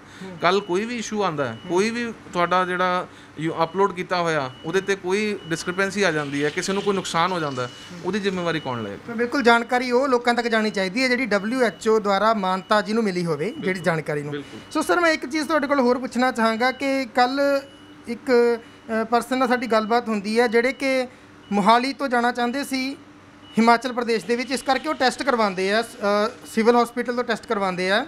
ਤੇ ਟੈਸਟ ਦੇ ਵਿੱਚ ਉਹਨਾਂ ਦੀ ਅ, ਮਾਂ ਬਾਪ ਦੀ ਜਿਹੜੀ ਰਿਪੋਰਟ ਹੈਗੀ ਉਹ ਤਾਂ ਨੈਗੇਟਿਵ ਆ ਜਾਂਦੀ ਹੈ ਪਰ ਬੱਚਿਆਂ ਦੀ ਜਿਹੜੀ ਰਿਪੋਰਟ ਹੈਗੀ ਆ ਉਹ ਪੋਜ਼ਿਟਿਵ ਆਉਂਦੀ ਹੈ। ਤੇ ਉਹਨਾਂ ਨੂੰ ਉਹਦੇ ਉੱਤੇ ਯਕੀਨ ਨਹੀਂ ਹੁੰਦਾ ਕਿਉਂਕਿ ਉਹ 1 ਮਹੀਨੇ ਤੋਂ ਪਹਿਲਾਂ ਆਪਣੇ ਘਰ ਦੇ ਵਿੱਚ ਸੀ। ਇਸ ਕਰਕੇ ਉਹ ਹੋਰ ਜ਼ਿਆਦਾ ਸ਼ੋਰ ਹੋਣ ਦੇ ਲਈ ਟੈਸਟ ਦੂਸਰੀ ਲੈਬੋਰਟਰੀ ਤੋਂ ਪ੍ਰਾਈਵੇਟ ਕਰਵਾ ਲੈਂਦੇ ਆ। ਤੇ ਦੂਸਰਾ ਹੀ ਦਿਨ ਜਦੋਂ ਪ੍ਰਾਈਵੇਟ ਲੈਬੋਰਟਰੀ ਤੋਂ ਜਿਹੜੀ ਰਿਪੋਰਟ ਆਉਂਦੀ ਹੈ, ਤਾਂ ਉਹ ਉਹਨਾਂ ਦੀ ਨੈਗੇਟਿਵ ਆਉਂਦੀ ਹੈ ਸਰ ਇਹਦੇ ਵਿੱਚ ਖਾਮੀ ਕਿੱਥੇ ਰਹਿੰਦੀ ਹੈ? ਇਹ ਕਿਸੇ ਸਿਸਟਮ ਦੀ ਲਾਪਰਵਾਹੀ ਇਹਨੂੰ ਕਹਿ ਸਕਦੇ ਆ ਜਾਂ ਇਸ ਤਰ੍ਹਾਂ ਹੋ ਸਕਦਾ ਹੈ? ਇਹ ਥੋੜਾ ਕਲੀਅਰ ਕਰਿਓ ਦੇਖੋ, ਲਾਪਰਵਾਹੀ ਨਹੀਂ ਅਸੀਂ ਕਹਿ ਸਕਦੇ, ਕਿਉਂਕਿ ਇਹ ਟੈਸਟ ਦਾ ਦੋ ਤਿੰਨ ਚੀਜ਼ਾਂ ਇਸ ਟੈਸਟ ਲਈ ਇੰਪੋਰਟੈਂਟ ਹੈਗੀਆਂ। ਸਭ ਤੋਂ ਪਹਿਲਾਂ ਤਾਂ ਸੈਂਪਲਿੰਗ ਹੀ ਇਸ ਟੈਸਟ ਲਈ ਸਭ ਤੋਂ ਇੰਪੋਰਟੈਂਟ ਹੈ। ਜਿਹੜਾ ਪੀਸੀਆਰ ਟੈਸਟ ਹੈ, ਇਹਦੇ ਤੁਸੀਂ ਸੈਂਪਲ ਜਿਹੜੇ ਟ੍ਰੇਨਡ ਸਟਾਫ ਨੇ ਲਿਆ ਉਹ ਸੈਂਪਲ ਪ੍ਰੋਪਰ ਲਿਆ ਗਿਆ ਕਿ ਨਹੀਂ ਲਿਆ ਗਿਆ? ਠੀਕ ਹੈ ਨਾ? ਉਹ ਉਤੇ ਡਿਪੈਂਡ ਕਰਦਾ ਦੂਸਰੀ ਗੱਲ ਕਈ ਵਾਰ ਕਿਆ ਹੁੰਦਾ ਹੈ ਕਿ ਪੇਸ਼ੈਂਟ ਆਲਮੋਸਟ 네ਗੇਟਿਵ ਹੁੰਦਾ ਹੈ। ਮਤਲਬ ਉਹਦੀ ਜਿਹੜੀ ਸੀਟੀ ਵੈਲਿਊ ਹੈ ਬਿਲਕੁਲ ਤੁਸੀਂ ਕਹੋ ਕਿ ਸੀਟੀ ਵੈਲਿਊ ਹੁੰਦੀ ਹੈ ਕਿ ਜਿੰਨੇ ਸਾਈਕਲਸ ਤੋਂ ਬਾਅਦ ਕੋਵਿਡ ਦੇ ਵਾਇਰਸ ਡਿਟੈਕਟ ਹੋਇਆ ਮਸ਼ੀਨ ਦੇ ਵਿੱਚ। ਉਹਦੇ ਨਾਲ ਕਿਆ ਹੁੰਦਾ ਕਿ ਸੀਟੀ ਵੈਲਿਊ ਜਿੰਨੀ ਲੋ ਹੋਏਗੀ ਜਿੱਦਾਂ 14 ਹੈ 15 ਹੈ 13 ਆਂਦੀ ਹੈ ਉਨਾ ਜਿਹੜਾ ਵਾਇਰਸ ਦਾ ਲੋਡ ਹੈ ਉਹ ਹਾਈ ਹੈ। ਜਿੰਨੀ ਸੀਟੀ ਵੈਲਿਊ ਲੋ ਹੈ, ਉਨਾ ਵਾਇਰਸ ਦਾ ਲੋਡ ਘੱਟ ਹੈ। ਇਹਦਾ ਮਤਲਬ ਵਾਇਰਸ ਬਾਡੀ ਦੇ ਵਿੱਚ ਉਨਾ ਸੈਲਸ ਦੇ ਵਿੱਚ ਘੱਟ ਹੈ। ਜਦੋਂ ਉਨਾ ਘੱਟ ਵਾਇਰਸ ਹੁੰਦਾ ਹੈ, ਜਦੋਂ ਸੀਟੀ ਵੈਲਿਊ ਜਿਹੜੀ ਹੈਗੀ 27 ਜਾਂ 30 ਤੋਂ ਅੱਗੇ ਹੈਗੀ ਹੈ 22 32 ਹੈਗੀ ਹੈ 33 ਹੈਗੀ ਹੈ, ਉਦੋਂ ਆਲਮੋਸਟ ਨੈਗੇਟਿਵ ਹੋਣ ਵਾਲਾ ਤਾਂ ਕਈ ਵਾਰ ਇਦਾਂ ਹੁੰਦਾ ਕਿ ਅਸੀਂ ਇੱਕ ਦੋ ਦਿਨ ਛੱਡ ਕੇ ਟੈਸਟ ਕਰਵਾਉਂਦੇ ਆ ਉਹ ਨੈਗੇਟਿਵ ਆ ਜਾਂਦਾ ਤਾਂ ਪੇਸ਼ੈਂਟ ਆਲਰੇਡੀ ਉਸ ਟਰਾਂਜੀਸ਼ਨ ਚ ਹੁੰਦਾ ਕਿ ਉਹਨੇ ਨੈਗੇਟਿਵ ਹੋ ਜਾਣਾ ਹੁੰਦਾ ਤਾਂ ਇਹ ਅਸੀਂ ਇਹਦੇ ਲਈ ਇਹ ਨਹੀਂ ਕਹਿ ਸਕਦੇ ਕਿਸੇ ਲੈਬ ਦੀ ਗਲਤੀ ਹੈ ਜਾਂ ਕੁਝ ਉਸ ਤਰ੍ਹਾਂ ਹੈ, ਪਰ ਇਹਨੂੰ ਅਸੀਂ ਕੈਚ ਨਹੀਂ ਕਰ ਸਕਦੇ ਕਿਉਂਕਿ ਅਗਰ ਸੈਂਪਲਿੰਗ ਸਹੀ ਨਹੀਂ ਹੋਈ ਜਾਂ ਸੈਂਪਲ ਸਹੀ ਨਹੀਂ ਲਿਆ ਜਾਂ ਪ੍ਰੋਸੈਸ ਸਹੀ ਨਹੀਂ ਕੀਤਾ ਗਿਆ, ਤਾਂ ਵੀ ਉਹ 네ਗੇਟਿਵ ਆ ਸਕਦਾ ਹੈ ਕਿਉਂਕਿ ਇਹਦਾ ਐਦਾਂ ਕੋਈ ਪੈਮਾਨਾ ਨਹੀਂ ਹੈਗਾ। ਸੋ ਕਾਰਨ ਸੈਂਪਲਿੰਗ ਦੇ ਵੀ ਹੋ ਸਕਦੇ ਆ ਤੇ ਸੀਟੀ ਵੈਲਿਊ ਦਾ ਵੀ ਡਿਪੈਂਡ ਕਰਦਾ ਕਿਉਂਕਿ ਜਦੋਂ ਸੀਟੀ ਵੈਲਿਊ ਨੈਗੇਟਿਵ ਹੋਣ ਦੇ ਨੇੜੇ ਹੁੰਦੀ ਹੈ ਤਾਂ ਇੱਕ ਪੁਆਇੰਟ ਪਹਿਲਾਂ ਉਹ ਪੋਜ਼ਿਟਿਵ ਵੀ ਹੋ ਸਕਦੀ ਹੈ ਤੇ ਅਗਲੇ ਦਿਨ ਨੈਗੇਟਿਵ ਵੀ ਆ ਸਕਦੀ ਹੈ। ਸਰ ਬਹੁਤ ਸਾਰੀਆਂ ਲੈਬਸ ਜਿੱਦਾਂ ਤੁਸੀਂ ਹੁਣ ਜਾਣਕਾਰੀ ਦਿੰਦੇ ਹੋ ਤੇ ਤੁਸੀਂ ਬਹੁਤ ਲੈਬ ਇੰਨੀ ਜ਼ਿਆਦਾ ਗਿਣਤੀ ਦੇ ਵਿੱਚ ਖੁੱਲੀਆਂ ਹੋਈਆਂ ਨੇ ਕਿ ਭਰੋਸਾ ਕਿਹਦੇ ਤੇ ਕੀਤਾ ਜਾਵੇ? ਕੁਆਲੀਫਿਕੇਸ਼ਨ ਕੀ ਹੋਣੀ ਚਾਹੀਦੀ ਹੈ ਜੋ ਪੈਥੋਲੋਜਿਸਟ ਹੈਗਾ? ਦੇਖੋ ਐਦਾਂ ਹੈ ਕਿ ਸਾਡੇ ਕੰਟਰੀ ਦੇ ਵਿੱਚ ਤੁਸੀਂ ਆਪ ਵੀ ਦੇਖੋ ਜਦੋਂ ਵੀ ਕੋਈ ਪੇਸ਼ੈਂਟ ਨਾਲ ਅਸੀਂ ਗੱਲ ਕਰਦੇ ਹਾਂ। ਫਰਜ਼ ਕਰੋ ਉਹ ਹਾਰਟ ਦੀ ਬਿਮਾਰੀ ਦਾ ਹੈਗਾ ਜਾਂ ਉਹ ਕਿਡਨੀ ਦੀ ਬਿਮਾਰੀ ਦਾ ਹੈਗਾ ਜਾਂ ਉਹ ਲੀਵਰ ਦੀ ਬਿਮਾਰੀ ਦਾ ਤਾਂ ਉਹ ਸਪੈਸ਼ਲਿਸਟ ਡਾਕਟਰ ਕੋਲ ਹੀ ਜਾਣਾ ਪਸੰਦ ਕਰਦਾ ਤਾਂ ਹਾਰਟ ਵਾਲਾ ਪੇਸ਼ੈਂਟ ਕਹਿੰਦਾ ਕਿ ਮੈਂ ਕਾਰਡੀਓਲੋਜਿਸਟ ਨੂੰ ਦਿਖਾਣਾ ਹੈ। ਵੀ ਹਾਰਟ ਦਾ ਜਿਹੜਾ ਸਪੈਸ਼ਲਿਸਟ ਡਾਕਟਰ ਹੈ ਮੈਂ ਉਹਨੂੰ ਹੀ ਦਿਖਾਵਾਂਗਾ ਆਪਣੇ ਹਾਰਟ ਦੀ ਪ੍ਰੋਬਲਮ ਜਿਹੜਾ ਪੇਸ਼ੈਂਟ ਲਿਵਰ ਜਾਂ ਕਿਡਨੀ ਦਾ ਹੈਗਾ ਉਹ ਕੰਸਰਨਡ ਡਾਕਟਰ ਕੋਲ ਹੀ ਜਾਂਦਾ ਸਿਮਿਲਰਲੀ ਪਰ ਜਦੋਂ ਪਰ ਜਦੋਂ ਅਸੀਂ ਟੈਸਟਾਂ ਤੇ ਆਉਂਦੇ ਆ ਜਾਂ ਡਾਇਗਨੋਸਿਸ ਵੱਲ ਆਉਂਦੇ ਆ ਉਦੋਂ ਅਸੀਂ ਕਿਸੇ ਵੀ ਲੈਬ ਨੂੰ ਚੁਣ ਲੈਂਦੇ ਆ ਜਾਂ ਕਿਸੇ ਵੀ ਅਨਕੁਆਲੀਫਾਈਡ ਕਹਿ ਲਓ ਜਾਂ ਅੰਡਰ ਕੁਆਲੀਫਾਈਡ ਕਹਿ ਲਈਏ ਉੱਥੇ ਅਸੀਂ ਟੈਸਟ ਕਰਵਾ ਲੈਂਦੇ ਆ ਉਹਦਾ ਨੁਕਸਾਨ ਕੀ ਹੁੰਦਾ ਹੈ? ਜਦੋਂ ਦੇਖੋ ਅੱਜ ਦੇ ਟਾਈਮ ਦੇ ਵਿੱਚ ਕੋਈ ਵੀ ਬਿਮਾਰੀ ਦੀ ਪਕੜ ਉਦੋਂ ਬਣ ਸਕਦੀ ਹੈ ਜਦੋਂ ਸਾਡੇ ਕੋਲ ਉਹਦੀਆਂ ਜਿਹੜੇ ਪੈਰਾਮੀਟਰਸ ਹੈਗੇ ਆ ਉਹਨੂੰ ਕੈਚ ਕਰਨ ਲਈ ਉਹ ਉਹਦੇ ਆਪਣੇ ਉਹਦੇ ਵੈਲਿਊਜ਼ ਦੇਖਣ ਲਈ ਉਹ ਸਹੀ ਹੈ। ਹੁਣ ਜਿੱਦਾਂ ਮੈਂ ਐਮਡੀ ਪੈਥੋਲੋਜਿਸਟ ਹੈਗਾ ਸਾਡੀ ਜਿਹੜੀ ਲੈਬ ਮੈਂ ਇੱਥੇ ਰਨ ਕਰ ਰਿਹਾ ਡਾਕਟਰ ਸਿੰਘ ਪੈਥ ਲੈਬ ਇਹ ਇੱਕ ਐਨਏਬੀਐਲ ਐਕ੍ਰੀਡਿਟਡ ਲੈਬ ਹੈ। ਔਰ ਇਹ ਇੱਕ ਡਿਸਟ੍ਰਿਕਟ ਦੇ ਵਿੱਚ ਪਹਿਲੀ ਔਰ ਹੁਣ ਤੱਕ ਦੀ ਜਿਹੜੀ ਹੈਗੀ ਲੈਬ ਇਹੀ ਐਨਏਬੀਐਲ ਐਕ੍ਰੀਡਿਟਡ ਹੈ। National accreditation board for testing labs and calibration ਜੋ ਹੈ। ਇਹ ਇੱਕ ਬਾਡੀ ਹੈਗੀ ਜੋ ਨੈਸ਼ਨਲ ਲੈਵਲ ਤੇ ਐਨਏਬੀਐਲ ਜਿਹਨੂੰ ਕਹਿੰਦੇ ਆ, ਇਹ ਹਸਪੀਟਲਸ ਨੂੰ ਵੀ ਕਰਦੀ ਹੈ ਐਨਏਬੀਐਚ ਹੁੰਦੀ ਹੈ ਤੇ ਜਿਹੜੀ ਲੈਬਸ ਨੂੰ ਐਕ੍ਰੀਡੇਟ ਕਰਦੀ ਹੈ ਐਨਏਬੀਐਲ ਹੁੰਦੀ ਹੈ। ਇਹ ਸਾਡੇ ਡੇਲੀ ਜਿਹੜੇ ਹੈਗੇ ਅਸੀਂ ਕੰਟਰੋਲਸ ਅਸੀਂ ਮਸ਼ੀਨਸ ਦਾ ਲੈਵਲ ਜਿਹੜਾ ਹੈਗਾ ਐਫਡੀਏ ਅਪਰੂਵਡ ਸਾਡੇ ਕੋਲ ਮਸ਼ੀਨਸ ਹੈਗੀਆਂ ਸਾਰੀਆਂ। ਉਹਦੇ ਕੰਟਰੋਲਸ ਰਨ ਹੁੰਦੇ ਆ, ਉਹਦੀ ਕੈਲੀਬ੍ਰੇਸ਼ਨਸ ਡੇਲੀ ਹੁੰਦੀਆਂ। ਉਸ ਤੋਂ ਬਾਅਦ ਮੈਂ ਉਹਨੂੰ ਚੈੱਕ ਕਰਦਾ, ਠੀਕ ਹੈ ਨਾ? ਤਾਂ ਮੈਂ ਜਿੰਨੇ ਵੀ ਟੈਸਟ ਹੈਗੇ ਆ, ਉਹ ਸਾਰੇ ਆਪਣੀ ਪ੍ਰੈਜ਼ੈਂਸ ਦੇ ਵਿੱਚ ਸਾਡੇ ਲੱਗਦੇ ਆ। ਤਾਂ ਉਹਦੇ ਨਾਲ ਕੀ ਹੁੰਦਾ ਕਿ ਤੁਹਾਡੀ ਐਕੂਰੇਸੀ ਜਿਹੜੀ ਹੈ ਰਿਪੋਰਟਸ ਦੀ, ਉਹ ਸਹੀ ਰਹਿੰਦੀ ਹੈ। ਤਾਂ ਇਸ ਕਰਕੇ ਐਕੂਰੇਸੀ ਹੋਣਾ ਬਹੁਤ ਜ਼ਰੂਰੀ ਹੈ ਅੱਜ ਦੇ ਟਾਈਮ ਤੁਸੀਂ ਕਿਸੇ ਵੀ ਡਾਕਟਰ ਲਈ, ਚਾਹੇ ਅੱਛੇ ਤੋਂ ਅੱਛੇ ਡਾਕਟਰ ਕੋਲ ਚਲੇ ਜਾਓ, ਅਗਰ ਤੁਹਾਡੀ ਰਿਪੋਰਟ ਸਹੀ ਨਹੀਂ ਹੈ, ਚਾਹੇ ਤੁਹਾਡਾ ਕੋਈ ਪੈਰਾਮੀਟਰ ਸਹੀ ਨਹੀਂ ਆ ਰਿਹਾ, ਜਾਂ ਤੁਹਾਡੀ ਰਿਪੋਰਟਿੰਗ ਉਦਾਂ ਦੀ ਨਹੀਂ ਹੈਗੀ, ਤਾਂ ਉਹਨੂੰ ਡਾਇਗਨੋਸ ਨਹੀਂ ਬਣਾ ਸਕਦਾ। ਡਾਇਗਨੋਸਿਸ ਤੋਂ ਬਾਅਦ ਟ੍ਰੀਟਮੈਂਟ ਸ਼ੁਰੂ ਹੁੰਦਾ ਤਾਂ ਡਾਇਗਨੋਸਿਸ ਇੱਕ ਸਪੋਰਟ ਹੈ, ਇੱਕ ਏਡ ਹੈ, ਇੱਕ ਇੱਕ ਫਿਜ਼ੀਸ਼ੀਅਨ ਲਈ। ਉਹ ਡਾਇਗਨੋਸਿਸ ਤੱਕ ਪਹੁੰਚੇ ਤਾਂ ਉਹ ਤੋਂ ਬਾਅਦ ਪੇਸ਼ੈਂਟ ਨੂੰ ਟ੍ਰੀਟ ਕਰੇ, ਉਸ ਤੋਂ ਬਾਅਦ ਉਹਦਾ ਇਫੈਕਟ ਦੇਖੇ। ਕਿ ਪੇਸ਼ੈਂਟ ਟ੍ਰੀਟ ਹੋ ਗਿਆ ਤਾਂ ਹੁਣ ਉਹਦੀ ਵੈਲਿਊਜ਼ ਕੀ ਆ ਗਈਆਂ। ਤਾਂ ਇਹ ਸਾਰੀ ਚੀਜ਼ਾਂ ਜਿਹੜੀਆਂ ਹੈਗੀਆਂ ਇਹ ਅੱਛੀ ਲੈਬ ਇੱਕ ਅੱਛੀ ਕੁਆਲੀਫਾਈਡ ਡਾਕਟਰ ਨਾਲ ਰਨ ਲੈਬ ਹੀ ਕਰ ਸਕਦੀ ਹੈ। ਸੋ ਭਾਵ ਕਿ ਇੱਕ ਚੰਗੇ ਡਾਕਟਰ ਕੋਲ ਜਾਣ ਤੋਂ ਬਾਅਦ ਸੋ ਤੁਹਾਡੇ ਲਈ ਇਹ ਬਹੁਤ ਜ਼ਰੂਰੀ ਹੈ ਕਿ ਜਿੱਥੇ ਤੁਸੀਂ ਟੈਸਟ ਕਰਵਾਉਂਦੇ ਕਿੰਨੇ ਐਕੂਰੇਟ ਆ ਕਿਹੜੀ ਲੈਬ ਦੇ ਵਿੱਚ ਤੁਸੀਂ ਜਾਂਦੇ ਹੋ ਇਹ ਬਹੁਤ ਜ਼ਰੂਰੀ ਹੈ। ਸੋ ਸਾਡੀ ਜਿਹੜੀ ਬਹੁਤ ਗਿਣਤੀ ਜਿਹੜੇ ਪੰਜਾਬ ਦੇ ਲੋਕ ਆ, ਸ਼ਹਿਰਾਂ ਵਿੱਚ ਤਾਂ ਬਹੁਤ ਪੜ੍ਹੇ ਲਿਖੇ ਲੋਕ ਵੀ ਹੈਗੇ ਆ, ਪਰ ਅਜੇ ਵੀ ਅਸੀਂ ਇਹ ਨਹੀਂ ਕਹਿ ਸਕਦੇ ਕਿ ਇੰਨੇ ਜ਼ਿਆਦਾ ਲੋਕ ਅਵੇਅਰ ਆ ਕਿ ਜਿਹੜੇ ਟੈਸਟ ਕਰਵਾਉਣ ਲਈ ਇੱਕ ਵਧੀਆ ਲੈਬ ਲੱਭਦੇ ਹੋਣਗੇ। ਸੋ ਟੈਸਟ ਕਰਵਾਉਣ ਦੇ ਲਈ ਜਿੱਥੇ ਇੱਕ ਵਧੀਆ ਡਾਕਟਰ ਦੇ ਕੋਲ ਮਾਫ ਕਰਨਾ, ਇਲਾਜ ਕਰਵਾਉਣ ਲਈ ਜਿੱਥੇ ਇੱਕ ਵਧੀਆ ਡਾਕਟਰ ਦੇ ਕੋਲ ਜਾਣਾ ਜ਼ਰੂਰੀ ਹੈ, ਤਾਂ ਉਸ ਨੂੰ ਸਹੀ ਰਿਪੋਰਟਾਂ ਦੇਣ ਲਈ ਇੱਕ ਸਹੀ ਲੈਬ ਦੇ ਵਿੱਚ ਵੀ ਜਾਣਾ ਜ਼ਰੂਰੀ ਹੈ।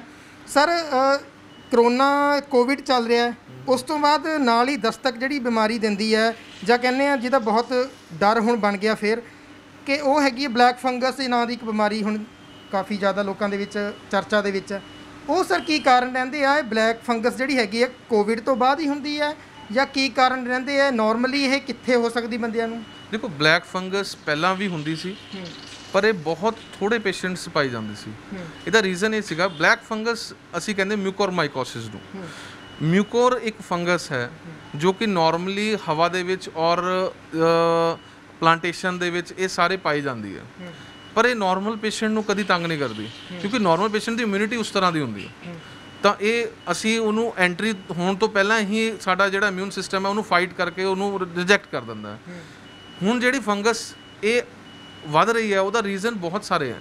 ਉਹਦਾ ਇੱਕ ਰੀਜ਼ਨ ਤਾਂ ਹੈ ਕਿ ਜਿੰਨੇ ਪੇਸ਼ੈਂਟਸ ਨੂੰ ਕੋਵਿਡ ਹੋ ਰਿਹਾ ਜਾਂ ਜਿਹੜੇ ਗ੍ਰਸਤ ਹੋ ਰਹੇ ਹੈ ਉਹ ਵਾਇਰਲ ਇਨਫੈਕਸ਼ਨ ਹੋਣ ਕਰਕੇ ਉਹਦੀ ਇਮਿਊਨਿਟੀ ਬਹੁਤ ਡਾਊਨ ਆ ਜਾਂਦੀ ਹੈ। ਜਦੋਂ ਪੇਸ਼ੈਂਟਸ ਦੀ ਇਮਿਊਨਿਟੀ ਡਾਊਨ ਆ ਜਾਂਦੀ ਹੈ ਉਸ ਤੋਂ ਬਾਅਦ ਉਹਦੀ ਜਿਹੜੀ ਫਾਈਟਿੰਗ ਪਾਵਰ ਹੈ, ਇਹ ਫੰਗਸ ਦੇ ਨਾਲ ਉਹ ਖਤਮ ਹੋਣੀ ਸ਼ੁਰੂ ਹੋ ਜਾਂਦੀ ਹੈ ਜਾਂ ਘਟ ਜਾਂਦੀ ਹੈ।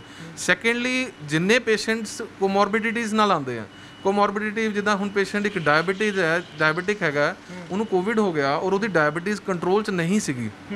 ਉਸ ਪੇਸ਼ੈਂਟ ਨੂੰ ਅਸੀਂ ਅਗਰ ਉਹ ਸਵੀਅਰ ਕੋਵਿਡ ਵੱਲ ਗਿਆ ਤੇ ਅਸੀਂ ਉਸ ਤੋਂ ਬਾਅਦ ਉਹਦੀ ਅਗਰ ਫਰਜ਼ ਕਰੋ ਕਿ ਅਸੀਂ ਉਹਦੀ ਡੈਕਸਾਮੇਥਾਜ਼ੋਨ ਜਾਂ ਕੋਈ ਸਟੀਰੋਇਡ ਸ਼ੁਰੂ ਕਰਤਾ ਉਹਨੂੰ ਬਚਾਉਣ ਲਈ, ਉਸ ਤੋਂ ਬਾਅਦ ਉਹਦੀ ਇਮਿਊਨਿਟੀ ਹੋਰ ਪੂਰ ਹੋ ਗਈ।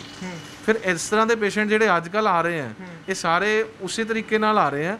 ਹੁਣ ਸੈਕੰਡਲੀ ਚੀਜ਼ ਇਹ ਹੈ ਕਿ ਇਹ ਪੇਸ਼ੈਂਟਸ ਇਹ ਦੇਖਣਾ ਪਏਗਾ ਕਿ ਇਹ ਹਸਪੀਟਲਸ ਜਾਣ ਤੋਂ ਬਾਅਦ ਹੀ ਇਹਨਾਂ ਨੂੰ ਹੋ ਰਿਹਾ ਜਾਂ ਐਦਾਂ ਦੇ ਪੇਸ਼ੈਂਟਸ ਜਿਹੜੇ ਘਰ ਨਾਰਮਲ ਹੈਗੇ ਆ, ਉਹਨਾਂ ਨੂੰ ਵੀ ਇਮਿਊਨਿਟੀ ਪੂਰ ਹੋ ਰਹੀ ਹੈ, ਜਾਂ ਇਹ ਇਹ ਇੱਕ ਰਿਸਰਚ ਦਾ ਟੌਪਿਕ ਹੈਗਾ। ਸਰ ਇੱਕ ਘਰ ਬੈਠੇ ਇਨਸਾਨ ਨੂੰ ਜਿਹੜਾ ਕਿਤੇ ਗਿਆ ਨਹੀਂ, ਜਿਹਨੂੰ ਕਿਤੇ ਫੰਗਸ ਲੱਗੀ ਨਹੀਂ ਆ, ਉਹਨੂੰ ਹੋ ਸਕਦੀ ਸਰ ਆਪਣੇ ਆਪ ਹੁੰਦੀ ਹੈ ਜਾਂ ਕਿਸੇ ਲਾਗ ਤੋਂ ਹੀ ਲੱਗਦੀ ਹੈ? ਨਹੀਂ ਐਦਾਂ ਹੈ ਕਿ ਇਹ ਇਹ ਹੁਣ ਇੱਕ ਰਿਸਰਚ ਦਾ ਟੌਪਿਕ ਹੈ ਜੋ ਕਿ ਫਾਈਂਡ ਆਊਟ ਕਰਨਾ ਪਏਗਾ ਕਿ ਇਹ ਕਿਸ ਤਰੀਕੇ ਨਾਲ ਸਾਡੇ ਉਹਦਾ ਹੋ ਰਹੀ ਹੈ ਵੀ ਇਹ ਇਮਿਊਨਿਟੀ ਪੂਰ ਹੋਣ ਕਰਕੇ ਹੀ ਪੇਸ਼ੈਂਟਸ ਨੂੰ ਜਿਹੜੀ ਹੈ ਫੰਗਲ ਅਟੈਕ ਦੇ ਵਿੱਚ ਆ ਰਹੇ ਹੈ ਜਾਂ ਕੋਈ ਹੋਰ ਰੀਜ਼ਨ ਹੈਗਾ ਕਿ ਐਡ ਔਨ ਜਿੱਥੇ ਐਡਮਿਸ਼ਨਸ ਹੋ ਰਹੀਆਂ ਜਾਂ ਹੋਰ ਹੈ ਉਹਦੇ ਨਾਲ ਪੇਸ਼ੈਂਟ ਕਿਉਂਕਿ ਮੋਸਟਲੀ ਪੇਸ਼ੈਂਟ ਠੀਕ ਹੋ ਕੇ ਘਰ ਚਲਾ ਜਾਂਦਾ ਹੈ। ਉਸ ਤੋਂ ਬਾਅਦ ਉਹ ਜਿਹੜਾ ਉਹਨੂੰ ਹੈਗਾ ਫੰਗਸ ਦਾ ਨਾਲ ਉਹ ਪ੍ਰੈਜ਼ੈਂਟ ਕਰਦਾ ਉਸ ਤੋਂ ਬਾਅਦ। ਇਹਦਾ ਮਤਲਬ ਇਹ ਹੈ ਕਿ ਹੋ ਸਕਦਾ ਕਿ ਇਹ ਉਹਦੀ ਇਮਿਊਨਿਟੀ ਪੂਰਨ ਹੋਣ ਤੋਂ ਬਾਅਦ ਉਹ এনवायरमेंट ਦੇ ਵਿੱਚੋਂ ਇਹ ਫੰਗਸ ਲੈ ਰਿਹਾ। ਠੀਕ ਹੈ ਨਾ? ਹੁਣ ਉਹ ਹਸਪੀਟਲ এনवायरमेंट ਦੇ ਵਿੱਚ ਸੀਗਾ ਜਾਂ ਇਹ ਬਾਹਰ ਆ ਕੇ এনवायरमेंट ਤੋਂ ਹੋਈ ਹੈ ਤਾਂ ਐਦਾਂ ਦੇ ਪੇਸ਼ੈਂਟਸ ਨੂੰ ਟਾਈਮਲੀ ਡਾਇਗਨੋਸ ਹੋਣਾ ਆਪਣੇ ਆਪ ਨੂੰ ਕਿਉਂਕਿ ਇਹ ਜਿਹੜੀ ਫੰਗਸ ਹੈ ਇਹ ਬਹੁਤ ਘਾਤਕ ਹੈ। ਬਾਕੀ ਕੋਈ ਵੀ ਫੰਗਸ ਜਿਹੜੀਆਂ ਹੈਗੀਆਂ ਜਿਹੜੀਆਂ ਚਮੜੀ ਦੇ ਨਾਲ ਹੋ ਜਾਂਦੀਆਂ ਜਾਂ ਹੋਰ ਹੋ ਜਾਂਦੀਆਂ ਉਹਨੂੰ ਟ੍ਰੀਟ ਬੜਾ ਸੌਖਾ ਕੀਤਾ ਜਾ ਸਕਦਾ। ਇਹ ਜਿਹੜੀ ਫੰਗਸ ਹੈਗੀ ਹੈ ਇਹ ਜ਼ਿਆਦਾਤਰ ਅੱਖ ਨੂੰ ਨੱਕ ਨੂੰ ਜਿਸ ਰਾਹੀਂ ਜਾਂਦੀ ਹੈ ਇਹ ਇਹ ਉਹਨੂੰ ਇਨਵੋਲਵ ਕਰ ਲੈਂਦੀ ਹੈ। ਔਰ ਇਹ ਇੱਕ ਤਰੀਕੇ ਨਾਲ ਕਹਿ ਸਕਦੇ ਹਾਂ ਕਿ ਇਹ ਇਹ ਫੰਗਸ ਅੱਗੇ ਵੱਧਦੀ ਜਾਂਦੀ ਹੈ। ਕਿੰਨੀ ਜ਼ਿਆਦਾ ਖਤਰਨਾਕ ਹੈ ਸਰ? ਕਿੱਥੇ ਤੱਕ ਇਹਦਾ ਅਟੈਕ ਹੋ ਸਕਦਾ? ਕੀ ਨੁਕਸਾਨ ਵੱਧ ਤੋਂ ਵੱਧ ਹੋ ਸਕਦਾ? ਸਭ ਤੋਂ ਜ਼ਿਆਦਾ ਇਹਦਾ ਡੇਂਜਰ ਇਹ ਹੁੰਦਾ ਕਿ ਇਹ ਫੰਗਸ ਕਿਉਂਕਿ ਨੱਕ ਦਾ ਰਸਤਾ ਜਿਹੜਾ ਹੈ ਬ੍ਰੇਨ ਤੇ ਨੇੜੇ ਨਿਕਲਦਾ ਹੈ। ਔਰ ਬ੍ਰੇਨ ਔਰ ਜਿਹੜੇ ਨੱਕ ਦੇ ਉੱਪਰ ਜਾ ਕੇ ਇੱਕ ਬੜੀ ਪਤਲੀ ਜੀ ਜਾਲੀਦਾਰ ਹੁੰਦੀ ਹੈ, ਇਹ ਬ੍ਰੇਨ ਦੇ ਵਿੱਚ ਐਂਟਰ ਕਰ ਜਾਂਦੀ ਹੈ। ਜਾਂ ਬਿਲਕੁਲ ਨੱਕ ਦੇ ਨਾਲ ਹੀ ਉੱਪਰ ਅੱਖ ਦਾ ਜਿਹੜੀ ਐਂਟਰੀ ਪੁਆਇੰਟ ਹੈਗਾ, ਜਾਂ ਇਹ ਅੱਖ 'ਚ ਐਂਟਰ ਕਰ ਜਾਂਦੀ ਹੈ। ਜਦੋਂ ਇਹ ਦੋਨਾਂ ਨੂੰ ਇਨਫੈਕਟ ਕਰਦੀ ਹੈ, ਕਿਸੇ ਵੀ ਪਾਸੇ ਮੁੜ ਜਾਵੇ, ਇਹ ਉਹ ਏਰੀਆ ਸਾਰਾ ਖਰਾਬ ਕਰ ਦਿੰਦੀ ਹੈ। ਔਰ ਬਹੁਤ ਸਾਰੇ ਪੇਸ਼ੈਂਟਸ ਹੈਗੇ ਜਿਨ੍ਹਾਂ ਦੀ ਵਿਜ਼ਨ ਚਲੀ ਗਈ, ਔਰ ਬਹੁਤ ਸਾਰੇ ਪੇਸ਼ੈਂਟ ਇਦਾਂ ਦੇ ਮੰਦਭਾਗੇ ਹੋ ਜਾਂਦੇ ਆ ਜਿਨ੍ਹਾਂ ਦੇ ਬ੍ਰੇਨ 'ਚ ਇਨਫੈਕਸ਼ਨ ਚਲੀ ਜਾਂਦੀ ਹੈ ਔਰ ਇਹ ਬ੍ਰੇਨ ਕਰਕੇ ਜਿਹੜਾ ਹੈਗਾ ਇਹ ਪੇਸ਼ੈਂਟ ਨੂੰ ਬਚਾਉਣਾ ਬਹੁਤ ਮੁਸ਼ਕਿਲ ਹੋ ਜਾਂਦਾ। ਕਿਉਂਕਿ ਜਦੋਂ ਇਹ ਬ੍ਰੇਨ ਚਲੀ ਜਾਂਦੀ ਹੈ ਉਸ ਤੋਂ ਬਾਅਦ ਇਹਦਾ ਇਹਨੂੰ ਮੋੜਨਾ ਬਹੁਤ ਮੁਸ਼ਕਿਲ ਹੈ। ਸਰ ਜਦੋਂ ਇਹ ਸਟਾਰਟ ਹੁੰਦੀ ਹੈ ਤਾਂ ਉਹਦੇ ਲਈ ਤੇ ਕੋਈ ਟੈਸਟ ਵਗੈਰਾ ਹੁੰਦੇ? ਇਹਦੇ ਲਈ ਵੀ ਕੁਝ ਇਸ ਤਰ੍ਹਾਂ ਦਾ? ਦੇਖੋ ਇਹਦੇ ਟੈਸਟ ਸਭ ਤੋਂ ਪਹਿਲਾਂ ਤਾਂ ਪੇਸ਼ੈਂਟ ਨੂੰ ਆਪਣਾ ਆਪ ਜਿਹੜਾ ਹੈਗਾ ਇਹਦੇ ਡਾਇਗਨੋਸ ਕਰਨਾ ਜ਼ਰੂਰੀ ਹੈ। ਕੁਝ ਟੈਸਟ ਹੈਗੇ ਇਹਦੇ, ਜਿਹੜੇ ਇਹਨੂੰ ਕੈਚ ਕਰਨ ਲਈ ਹੈਗੇ ਆ। ਪਰ ਸਭ ਤੋਂ ਪਹਿਲਾਂ ਪੇਸ਼ੈਂਟ ਆਪ ਧਿਆਨ ਦੇਵੇ ਕਿ ਉਹਦੇ ਕਿਤੇ ਕਿਤੇ ਵੀ ਕੋਈ ਕਲਰ ਚੇਂਜ ਤਾਂ ਨਹੀਂ ਆ ਰਿਹਾ, ਜਿਹੜੇ ਕਿ ਨੱਕ ਦੇ ਆਲੇ ਦੁਆਲੇ ਜਾਂ ਕਿਸੇ ਹੋਰ। ਜਾਂ ਉਹਦੇ ਨੱਕ ਦੇ ਵਿੱਚੋਂ ਕੋਈ ਸੈਕ੍ਰੀਸ਼ਨਸ ਦੇ ਵਿੱਚ ਕੋਈ ਇਦਾਂ ਦੀ, ਬਾਰ-ਬਾਰ ਉਹਦਾ ਇਦਾਂ ਤਾਂ ਨਹੀਂ ਕਿ ਜ਼ੁਕਾਮ ਰਹਿ ਰਿਹਾ ਹੈ ਜਾਂ ਕੁਝ ਉਹਦੇ ਸੈਕ੍ਰੀਸ਼ਨਸ ਦੇ ਵਿੱਚ ਉਹਨੂੰ ਲੱਗ ਰਿਹਾ ਕਿ ਉਹ ਸਹੀ ਨਹੀਂ ਹੈਗਾ ਜਾਂ ਕੋਈ ਫੀਵਰ ਆਣਾ ਸ਼ੁਰੂ ਹੋ ਗਿਆ ਦੁਬਾਰਾ ਤੋਂ, ਠੀਕ ਹੈ ਨਾ? ਤਾਂ ਇਹ ਸਾਰੀਆਂ ਚੀਜ਼ਾਂ ਪੇਸ਼ੈਂਟ ਨੂੰ ਆਪ ਨੋਟ ਕਰਨੀਆਂ ਪੈਣਗੀਆਂ। ਜਦੋਂ ਹੀ ਇਦਾਂ ਦਾ ਕੁਝ ਉਹਨੂੰ ਲੱਗਦਾ ਹੈ, ਆਪਣੇ ਈਐਨਟੀ ਡਾਕਟਰ ਨੂੰ ਦਿਖਾਓ, ਉਹਨੂੰ ਥੋੜਾ ਜਿਹਾ ਵੀ ਆਪਣਾ ਕੋਈ ਵੀ ਇਦਾਂ ਦਾ ਲੱਗੇ ਜਿਹੜਾ ਕਿ ਉਹਦਾ ਨੱਕ ਦੇ ਆਲੇ ਦੁਆਲੇ ਜਾਂ ਅੱਖ ਦੇ ਆਲੇ ਦੁਆਲੇ ਕੋਈ ਵੀ ਇਦਾਂ ਦੀ ਡੈੱਡ ਸਕਿਨ ਜਾਂ ਕੋਈ ਇਦਾਂ ਦੀ ਉਭਰਦੀ ਜਾਂ ਕੋਈ ਪਿਗਮੈਂਟ ਚੇਂਜ ਉਭਰਦਾ ਦਿਖ ਰਿਹਾ ਹੈ ਜਾਂ ਕੋਈ ਇਦਾਂ ਦੀ ਕਲਰ ਚੇਂਜ ਆ ਰਿਹਾ ਜਾਂ ਉਹਨੂੰ ਲੱਗ ਰਿਹਾ ਕਿ ਮੇਰੀ ਵਿਜ਼ਨ 'ਚ ਚੇਂਜ ਆ ਰਹੀ ਹੈ ਜਾਂ ਕੋਈ ਜ਼ੁਕਾਮ ਰਹਿ ਰਿਹਾ ਜਾਂ ਕੋਈ ਉਸ ਤਰ੍ਹਾਂ ਦਾ ਆਫਟਰ ਇਹ ਤੋਂ ਫਿਰ ਆਪਣੇ ਡਾਕਟਰ ਨੂੰ ਈਐਨਟੀ ਡਾਕਟਰ ਨੂੰ ਔਰ ਆਈ ਸਪੈਸ਼ਲਿਸਟ ਨੂੰ ਇਮੀਡੀਏਟਲੀ ਦਿਖਾਓ, ਕਿਉਂਕਿ ਇਹ ਜਦੋਂ ਇਹਦੇ ਸਟੇਜ ਲੰਘ ਜਾਂਦੀ ਹੈ, ਉਸ ਤੋਂ ਬਾਅਦ ਇਹਨੂੰ ਕੈਚ ਕਰਨਾ ਔਰ ਇਹਨੂੰ ਰੋਕਣਾ ਬਹੁਤ ਔਖਾ। ਸੋ ਸਰ ਤੁਹਾਡੇ ਕੋਲ ਇਸ ਵੇਲੇ ਕਿਹੜੀਆਂ ਜਿਹੜੀਆਂ ਮਸ਼ੀਨਸ ਹੈਗੀਆਂ ਜਿਹੜੀਆਂ ਇਸ ਵੇਲੇ ਬਹੁਤ ਜ਼ਰੂਰਤ ਹੈ ਲੈਬਸ ਦੇ ਵਿੱਚ ਹੋਣੀਆਂ ਲੈਬਸ ਕਿੱਦਾਂ ਦੀਆਂ ਹੁਣ ਇਸ ਵੇਲੇ ਹੋਣੀਆਂ ਚਾਹੀਦੀਆਂ? ਕਿਉਂਕਿ ਬਹੁਤ ਸਾਰੀਆਂ ਲੈਬਸ ਖੁੱਲੀਆਂ ਹੋਈਆਂ ਹੈ ਉਹਨਾਂ ਵਿੱਚ ਟੈਕਨੋਲੋਜੀ ਉਨੀ ਹੈ ਨਹੀਂ ਆ ਟੈਸਟ ਬਾਹਰ ਜਾਂਦੇ ਆ ਫਿਰ ਇਦਾਂ ਦੀਆਂ ਸੈਂਪਲ ਲੈਣ ਦੇ ਵਿੱਚ ਵੀ ਗਲਤੀਆਂ ਹੁੰਦੀਆਂ ਜਾਂ ਅੱਗੇ ਫਿਰ ਗਲਤ ਰਿਪੋਰਟਸ ਆਉਂਦੀਆਂ। ਕਿੱਦਾਂ ਦੀਆਂ ਹੋਣੀਆਂ ਚਾਹੀਦੀਆਂ ਲੈਬਸ ਜਿਹਦਾ ਲੋਕਾਂ ਨੂੰ ਫਾਇਦਾ ਹੋ ਸਕੇ? ਦੇਖੋ ਲੈਬਸ ਜਿਹੜੀਆਂ ਹੈਗੀਆਂ ਨਾ ਪਹਿਲਾਂ ਤਾਂ ਮੈਂ ਤੁਹਾਨੂੰ ਕਿਹਾ ਕਿ ਕੁਆਲੀਫਾਈਡ ਪਰਸਨ ਜਿਹੜਾ ਹੈਗਾ ਕੰਸਰਨਡ ਪਰਸਨ ਉਹੀ ਜਿੱਦਾਂ ਹੁਣ ਅ, ਇੱਕ ਡੀ ਬੇਸਡ ਜਿਹੜੀ ਲੈਬ ਉਹਦੀ ਆਪਣੀ ਹੀ ਕੁਆਲੀਫਿਕੇਸ਼ਨ ਦੇ ਨਾਲ ਆਪਣੀ ਹੀ ਕੁਆਲਿਟੀ ਮੇਨਟੇਨ ਕਰਨ ਦਾ ਇੱਕ ਤਰੀਕਾ ਹੁੰਦਾ। ਉਹ ਬਹੁਤ ਚੀਜ਼ਾਂ ਆਬਜ਼ਰਵ ਕਰ ਸਕਦਾ ਹੁਣ ਜਿੱਦਾਂ ਬਹੁਤ ਸਾਰੇ ਜਿਹੜੇ ਪੇਸ਼ੈਂਟਸ ਹੈਗੇ ਕੈਂਸਰ ਦੇ ਹੈਗੇ ਆ, ਉਹ ਮੈਂ ਇੱਥੇ ਆਪਣੀ ਲੈਬ ਦੇ ਵਿੱਚ ਡਾਇਗਨੋਸ ਕਰਦਾ। ਕੱਲ ਹੀ ਇੱਕ ਪੇਸ਼ੈਂਟ ਯੰਗ ਪੇਸ਼ੈਂਟ ਜਿਹੜਾ ਕਿ ਬੱਚਾ ਸੀਗਾ, ਉਹਨੂੰ ਬਲੱਡ ਕੈਂਸਰ ਸੀਗਾ, ਔਰ ਉਹ ਡਾਇਗਨੋਸ ਨਹੀਂ ਹੋ ਰਿਹਾ ਸੀਗਾ, ਉਹ ਮੈਂ ਕੱਲ ਡਾਇਗਨੋਸ ਕਰਿਆ। ਕਿਉਂਕਿ ਉਹ ਇੱਕ ਟੈਕਨੀਸ਼ੀਅਨ ਔਰ ਜਾਂ ਇੱਕ ਅੰਡਰ ਕੁਆਲੀਫਾਈਡ ਬੰਦਾ ਨਹੀਂ ਦੇਖ ਸਕਦਾ ਉਸ ਚੀਜ਼ ਨੂੰ। ਉਹਦੇ ਲਈ ਇੱਕ ਵਿਜ਼ਨ ਇੱਕ ਜ਼ਰੂਰੀ ਹੈ। ਔਰ ਵਿਜ਼ਨ ਉਹ ਡਾਕਟਰ ਦੀ ਹੀ ਹੋ ਸਕਦੀ ਹੈ। ਠੀਕ ਹੈ ਨਾ? ਤਾਂ ਉਹ ਬਹੁਤ ਸਾਰੇ ਸਿੰਪਟਮਸ ਜਿਹੜੇ ਹੈਗੇ ਆ ਜੋ ਕਿ ਅਸੀਂ ਇੱਥੇ ਪੇਸ਼ੈਂਟ ਨੂੰ ਪੁੱਛਦੇ ਆ ਉਹ ਡਾਕਟਰ ਪੁੱਛ ਸਕਦਾ। ਉਹ ਇੱਕ ਅੰਡਰ ਕੁਆਲੀਫਾਈਡ ਬੰਦਾ ਉਹ ਉਹ ਮਸ਼ੀਨ ਮਸ਼ੀਨ ਦੇਖੋ ਅਸੀਂ ਕਹਿੰਦੇ ਆ ਕਿ ਤੁਹਾਡੀਆਂ ਅੱਖਾਂ ਵੀ ਉਹ ਦੇਖ ਸਕਦੀਆਂ ਜੋ ਤੁਹਾਡਾ ਦਿਮਾਗ ਦੱਸਦਾ। ਠੀਕ ਹੈ ਨਾ? ਤਾਂ ਉਹ ਮਸ਼ੀਨ ਬਣਾ ਦਿੱਤੀ ਗਈ ਹੈ। ਮਸ਼ੀਨ ਚੋਂ ਕੀ ਨਿਕਲਣਾ ਹੈ? ਉਹਦਾ ਆਨਸਰ ਉਹਦਾ ਉਹਦਾ ਕੀ ਮਤਲਬ ਹੈਗਾ? ਉਹ ਟੈਸਟ ਤੁਹਾਡੀ ਕੰਡੀਸ਼ਨ ਦੇ ਨਾਲ ਰਿਲੇਟ ਕਰਦਾ ਵੀ ਹੈ ਕਿ ਨਹੀਂ ਕਰਦਾ? ਜਾਂ ਉਹਦੇ ਸਹੀ ਰਿਜ਼ਲਟ ਆ ਵੀ ਰਹੇ ਹੈ, ਨਹੀਂ ਆ ਰਹੇ? ਇਹ ਤੁਹਾਨੂੰ ਇੱਕ ਕੁਆਲੀਫਾਈਡ ਬੰਦਾ ਹੀ ਦੱਸ ਸਕਦਾ। ਹੁਣ ਸਾਡਾ, ਮੈਂ ਜੋ ਇੱਥੇ ਲੈਬ ਰਨ ਕਰ ਰਿਹਾ, ਉਹ ਡਾਕਟਰ ਸਿੰਘ ਪੈਥ ਲੈਬ ਹੈ। ਇਹ ਫੁੱਲੀ ਕੰਪਿਊਟਰਾਈਜ਼ ਜੋ ਕਿ ਲਿਖ ਦਿੰਦੇ ਆ, ਪਰ ਕੰਪਿਊਟਰਾਈਜ਼ ਹੁੰਦੀ ਨਹੀਂ। ਬਹੁਤ ਸਾਰੇ ਕਲੈਕਸ਼ਨ ਸੈਂਟਰ ਰਨ ਕਰਦੇ ਆ। ਉਹ ਕੀ ਕਰਦੇ ਆ ਕਿ ਸੈਂਪਲਸ ਲੈਂਦੇ ਆ ਔਰ ਅੱਗੇ ਬੜੀਆਂ ਲੈਬਸ ਨੂੰ ਕੋਈ ਚੰਡੀਗੜ੍ਹ ਬੇਸਡ ਹੈ, ਕੋਈ ਦਿੱਲੀ ਬੇਸਡ ਹੈ ਉੱਥੇ ਭੇਜ ਦਿੰਦੇ ਆ। ਉੱਥੇ ਕੀ ਹੁੰਦਾ ਕਿ ਸੈਂਪਲ ਲਏ, ਉਸ ਤੋਂ ਬਾਅਦ ਉਹਨੂੰ ਪ੍ਰੋਸੈਸ ਕਰਨਾ, ਉਹਨੂੰ ਮੇਨਟੇਨ ਕਰਨਾ ਟੈਂਪਰੇਚਰ ਮੇਨਟੇਨ ਕਰਨਾ, ਉਹਨੂੰ ਟਰਾਂਸਪੋਰਟ ਕਰਨਾ, ਇਹ ਸਾਰੀ ਗਲਤੀਆਂ ਇਹਨੂੰ ਕਹਿੰਦੇ ਪ੍ਰੀ ਐਨਾਲਿਟੀਕਲ ਐਰਰਸ ਇਹ ਸੈਂਪਲ ਤੋਂ ਬਾਅਦ ਪਹਿਲਾਂ ਹੀ ਆ ਜਾਂਦੇ ਆ। ਹੁਣ ਜਦੋਂ ਸੈਂਪਲ ਤੋਂ ਪਹਿਲਾਂ ਹੀ ਐਰਰ ਆ ਗਿਆ, ਤੁਸੀਂ ਗਲਤੀ ਕਰਤੀ ਲੇਬਲਿੰਗ 'ਚ, ਤੁਸੀਂ ਗਲਤੀ ਕਰਤੀ ਉਹਦੀ ਟੈਂਪਰੇਚਰ ਮੇਨਟੇਨ ਕਰਨ ਦੇ ਵਿੱਚ, ਉਸ ਤੋਂ ਬਾਅਦ ਤਾਂ ਉਹ ਲੈਬ 'ਚ ਪਹੁੰਚਣ ਤੋਂ ਬਾਅਦ ਤਾਂ ਫਿਰ ਰਿਜ਼ਲਟ ਉਹਦਾ ਉਹੀ ਆਏਗਾ। ਸਾਡੇ ਸਿਸਟਮ ਕੀ ਹੈ, ਅਸੀਂ NABL ਲੈਬ ਹੋਣ ਦੇ ਨਾਲ ਅਸੀਂ ਸਟੈਂਡਰਡ ਸਾਰੇ ਉਸ ਤਰ੍ਹਾਂ ਦੇ ਮੇਨਟੇਨ ਕਰਦੇ ਹਾਂ। ਸਾਡੇ ਸੈਂਪਲ ਜਿੱਦਾਂ ਹੀ ਐਂਟਰੀ ਪੈਂਦੀ ਹੈ, ਸਾਡਾ ਸਿਸਟਮ ਸਾਡਾ ਸੌਫਟਵੇਅਰ LAS ਸੌਫਟਵੇਅਰ ਹੁੰਦਾ ਇਹਦੇ 'ਚ ਜਦੋਂ ਹੀ ਐਂਟਰੀ ਪੈਂਦੀ ਹੈ ਪੇਸ਼ੈਂਟ ਦਾ ਬਾਰਕੋਡ ਨਿਕਲ ਜਾਂਦਾ ਉਹਦੇ ਤੇ ਪੇਸ਼ੈਂਟ ਦਾ ਨਾਮ ਪੇਸ਼ੈਂਟ ਦਾ ਟਾਈਮ ਕਿਸ ਵੇਲੇ ਸੈਂਪਲ ਲਿਆ, ਕਿਸ ਤਰੀਕ ਨੂੰ ਸੈਂਪਲ ਲਿਆ, ਉਹ ਸਾਰਾ ਬਾਰਕੋਡ ਦੇ ਉੱਤੇ ਹੁੰਦਾ। ਉਹਦੇ ਨਾਲ ਕੀ ਹੁੰਦਾ ਕਿ ਇੱਕ ਤਾਂ ਉਹ ਸੈਂਪਲ ਕਦੀ ਮੈਚ ਕਿਸੇ ਨਾਲ ਮਿਕਸ ਨਹੀਂ ਹੁੰਦਾ। ਇੱਕ ਉਹਦਾ ਟਾਈਮਿੰਗ ਔਰ ਉਹਦਾ ਸਾਰਾ ਮੇਨਟੇਨ ਰਹਿੰਦਾ ਗਲਤੀ ਦੀ ਗੁੰਜਾਇਸ਼ ਨਹੀਂ ਗੁੰਜਾਇਸ਼ ਘਟ ਜਾਂਦੀ ਹੈ। ਫਿਰ ਉਸ ਤੋਂ ਬਾਅਦ ਜਿਹੜਾ ਉਹ ਜਿੱਦਾਂ ਹੀ ਐਂਟਰੀ ਪੈਂਦੀ ਹੈ ਪੇਸ਼ੈਂਟ ਨੂੰ ਉਹਦਾ ਲਿੰਕ ਚਲਾ ਜਾਂਦਾ ਹੈ ਕਿ ਹਾਂ ਤੁਹਾਡੇ ਸੈਂਪਲ ਸਾਡੇ ਕੋਲ ਆ ਗਏ ਉਸ ਤੋਂ ਬਾਅਦ ਉਹ ਰਿਪੋਰਟਸ ਆਪਣੀ ਉੱਥੋਂ ਵੀ ਡਾਊਨਲੋਡ ਕਰ ਸਕਦਾ ਸਾਡੇ ਸੌਫਟਵੇਅਰ ਦੇ ਥਰੂ ਉਹ ਜਿਹੜੇ ਬਾਰਕੋਡ ਲੱਗਦਾ ਹੈ ਉਸ ਤੋਂ ਬਾਅਦ ਆ ਸਾਰੀਆਂ ਸਾਡੀ ਮਸ਼ੀਨਸ ਜਿਹੜੀਆਂ ਹੈਗੀਆਂ ਇਹਨਾਂ ਵਿੱਚ ਅਸੀਂ ਬਾਰਕੋਡ ਦੀ ਫੈਸਿਲਿਟੀ ਸਾਰਿਆਂ 'ਚ ਰੱਖੀ ਹੋਈ ਹੈ। ਜਿੱਦਾਂ ਹੀ ਉਹ ਬਾਰਕੋਡ ਅਸੀਂ ਇਹਦੇ ਨੇੜੇ ਲੈ ਕੇ ਜਾਂਦੇ ਆ ਸਕੈਨਰ ਦੇ ਨੇੜੇ ਇਹ ਬਾਰਕੋਡ ਪਿਕ ਕਰ ਲੈਂਦੀ ਮਸ਼ੀਨ ਉਸ ਤੋਂ ਬਾਅਦ ਉਹਦੀ ਸਾਰੀ ਇਨਫੋਰਮੇਸ਼ਨ ਜਿਹੜੀ ਪੇਸ਼ੈਂਟ ਦੀ ਔਰ ਟੈਸਟ ਦੀ ਹੈਗੀ ਹੈ ਇਹ ਮਸ਼ੀਨ 'ਚ ਆਟੋਮੈਟਿਕਲੀ ਚਲੀ ਜਾਂਦੀ ਹੈ। ਜਿੱਦਾਂ ਹੀ ਮਸ਼ੀਨ 'ਚ ਜਾਂਦੀ ਹੈ ਉਸ ਤੋਂ ਬਾਅਦ ਜਿਹੜੀ ਇਹ ਉਹਦੇ ਟੈਸਟ ਆਪਣੇ ਆਪ ਲਗਾ ਦਿੰਦੀ ਹੈ। ਫਿਰ ਜਿਹੜੇ ਰਿਜ਼ਲਟਸ ਹੈਗੇ ਆ ਉਹ ਰਿਜ਼ਲਟਸ ਆਪਣੇ ਆਪ ਇਹ ਮਸ਼ੀਨ ਸਾਡੇ ਟੈਕਨੀਸ਼ੀਅਨ ਨਹੀਂ ਫਿਲ ਕਰਦੇ ਰਿਜ਼ਲਟਸ ਇਹ ਮਸ਼ੀਨ ਆਪਣੇ ਆਪ ਹੀ ਆਪਣੇ ਸੌਫਟਵੇਅਰ 'ਚ ਪਾ ਦਿੰਦੀ ਹੈ ਕਨਸਰਨਡ ਰਿਪੋਰਟ ਦੇ ਵਿੱਚ। ਹੁਣ ਇਹਦੇ ਨਾਲ ਦੋ ਤਿੰਨ ਚੀਜ਼ਾਂ 'ਚ ਗਲਤੀ ਵੱਜ ਜਾਂਦੀ ਹੈ। ਇੱਕ ਤਾਂ ਜਿਹੜੀ ਹਿਊਮਨ ਐਰਰ ਹੈਗਾ ਹਿਊਮਨ ਐਰਰ ਖਤਮ ਹੋ ਗਿਆ। ਸੈਂਪਲ ਮਿਕਸਿੰਗ ਖਤਮ ਹੋ ਗਈ। ਰਿਜ਼ਲਟਸ ਆਟੋਮੈਟਿਕਲੀ ਆਏ। ਰਿਜ਼ਲਟਸ ਮਸ਼ੀਨ ਅਸੀਂ ਡੇਲੀ ਕੈਲੀਬ੍ਰੇਟ ਕਰਦੇ ਹਾਂ। ਤਾਂ ਉਹਦੀ ਐਕੂਰੇਸੀ ਅਸੀਂ ਡੇਲੀ ਚੈੱਕ ਕਰਦੇ ਹਾਂ। ਉਹ ਸਾਡਾ ਕਿਉਂਕਿ ਐਨਏਬੀਐਲ ਹੋਣ ਦੇ ਨਾਲ ਸਾਡਾ ਹਰ ਮਹੀਨੇ ਜਿਹੜਾ ਹੈਗਾ ਉਹ ਰਿਜ਼ਲਟਸ ਏਮਸ ਦੇ ਨਾਲ ਔਰ ਸੀਐਮਸੀ ਵਿਲੋਰ ਦੇ ਨਾਲ ਮੈਚ ਹੁੰਦਾ। ਉੱਥੋਂ ਸਾਡੇ ਕੋਲ ਉਹਨਾਂ ਦੀ ਵਾਇਲਸ ਆਉਂਦੀਆਂ।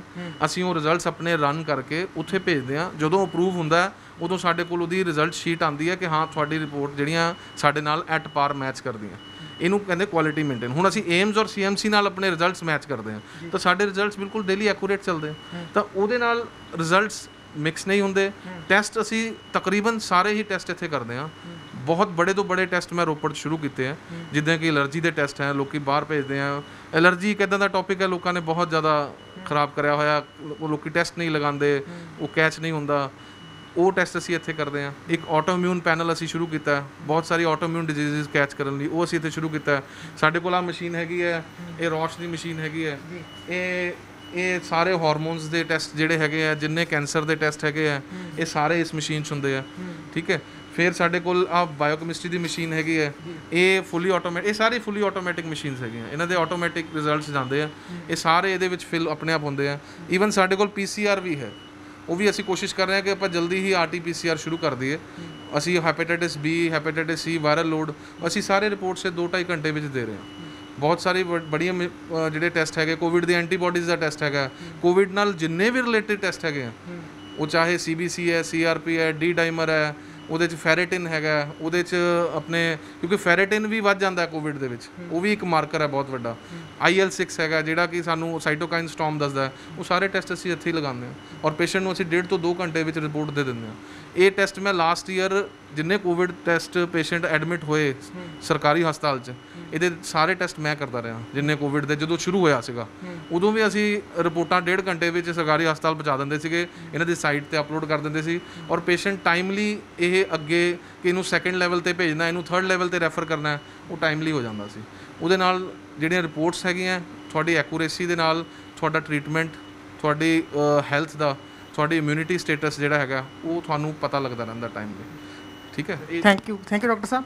ਗੱਲਬਾਤ ਕਰਨ ਦੇ ਲਈ। ਸੋ ਅੱਜ ਸਾਡੇ ਲਈ ਇਹ ਜਾਣਨਾ ਬਹੁਤ ਜ਼ਰੂਰੀ ਹੈ ਕਿ ਜੇਕਰ ਤੁਸੀਂ ਇੱਕ ਬਿਮਾਰੀ ਦਾ ਇਲਾਜ ਲੈਣ ਦੇ ਲਈ ਇੱਕ ਸਹੀ ਡਾਕਟਰ ਦੀ ਚੋਣ ਕਰਦੇ ਹੋ, ਤਾਂ ਰਿਪੋਰਟਸ ਐਕੂਰੇਟ ਰਿਪੋਰਟਸ ਲੈਣ ਦੇ ਲਈ ਟੈਸਟ ਦੀਆਂ, ਤਾਂ ਤੁਹਾਨੂੰ ਇੱਕ ਚੰਗੀ ਲੈਬੋਰਟਰੀ ਦੇ ਜਾਣਕਾਰੀ ਵੀ ਹੋਣੀ ਚਾਹੀਦੀ ਹੈ ਤੇ ਚੰਗੀਆਂ ਲੈਬੋਰਟਰੀਆਂ ਦੇ ਵਿੱਚ ਜਾਣਾ ਚਾਹੀਦਾ ਜਿੱਥੇ ਐਕੂਰੇਟ ਜਿਹੜੇ ਟੈਸਟ ਤੁਹਾਡੇ ਹੋ ਸਕਣ ਤੇ ਤਾਂ ਕਿ ਇਲਾਜ ਵੀ ਸਹੀ ਹੋ ਸਕੇ। ਉਮੀਦ ਕਰਦੇ ਹਾਂ ਇਹ ਜਾਣਕਾਰੀ ਤੁਹਾਡੇ ਲਈ ਉਪਯੋਗੀ ਰਹੇਗੀ। ਨਿਰਭੈ ਸਿੰਘ ਦੇ ਨਾਲ ਸਤਨਾਮ ਸਿੰਘ, ਪੰਜਾਬੀ ਲੋਕ ਚੈਨਲ।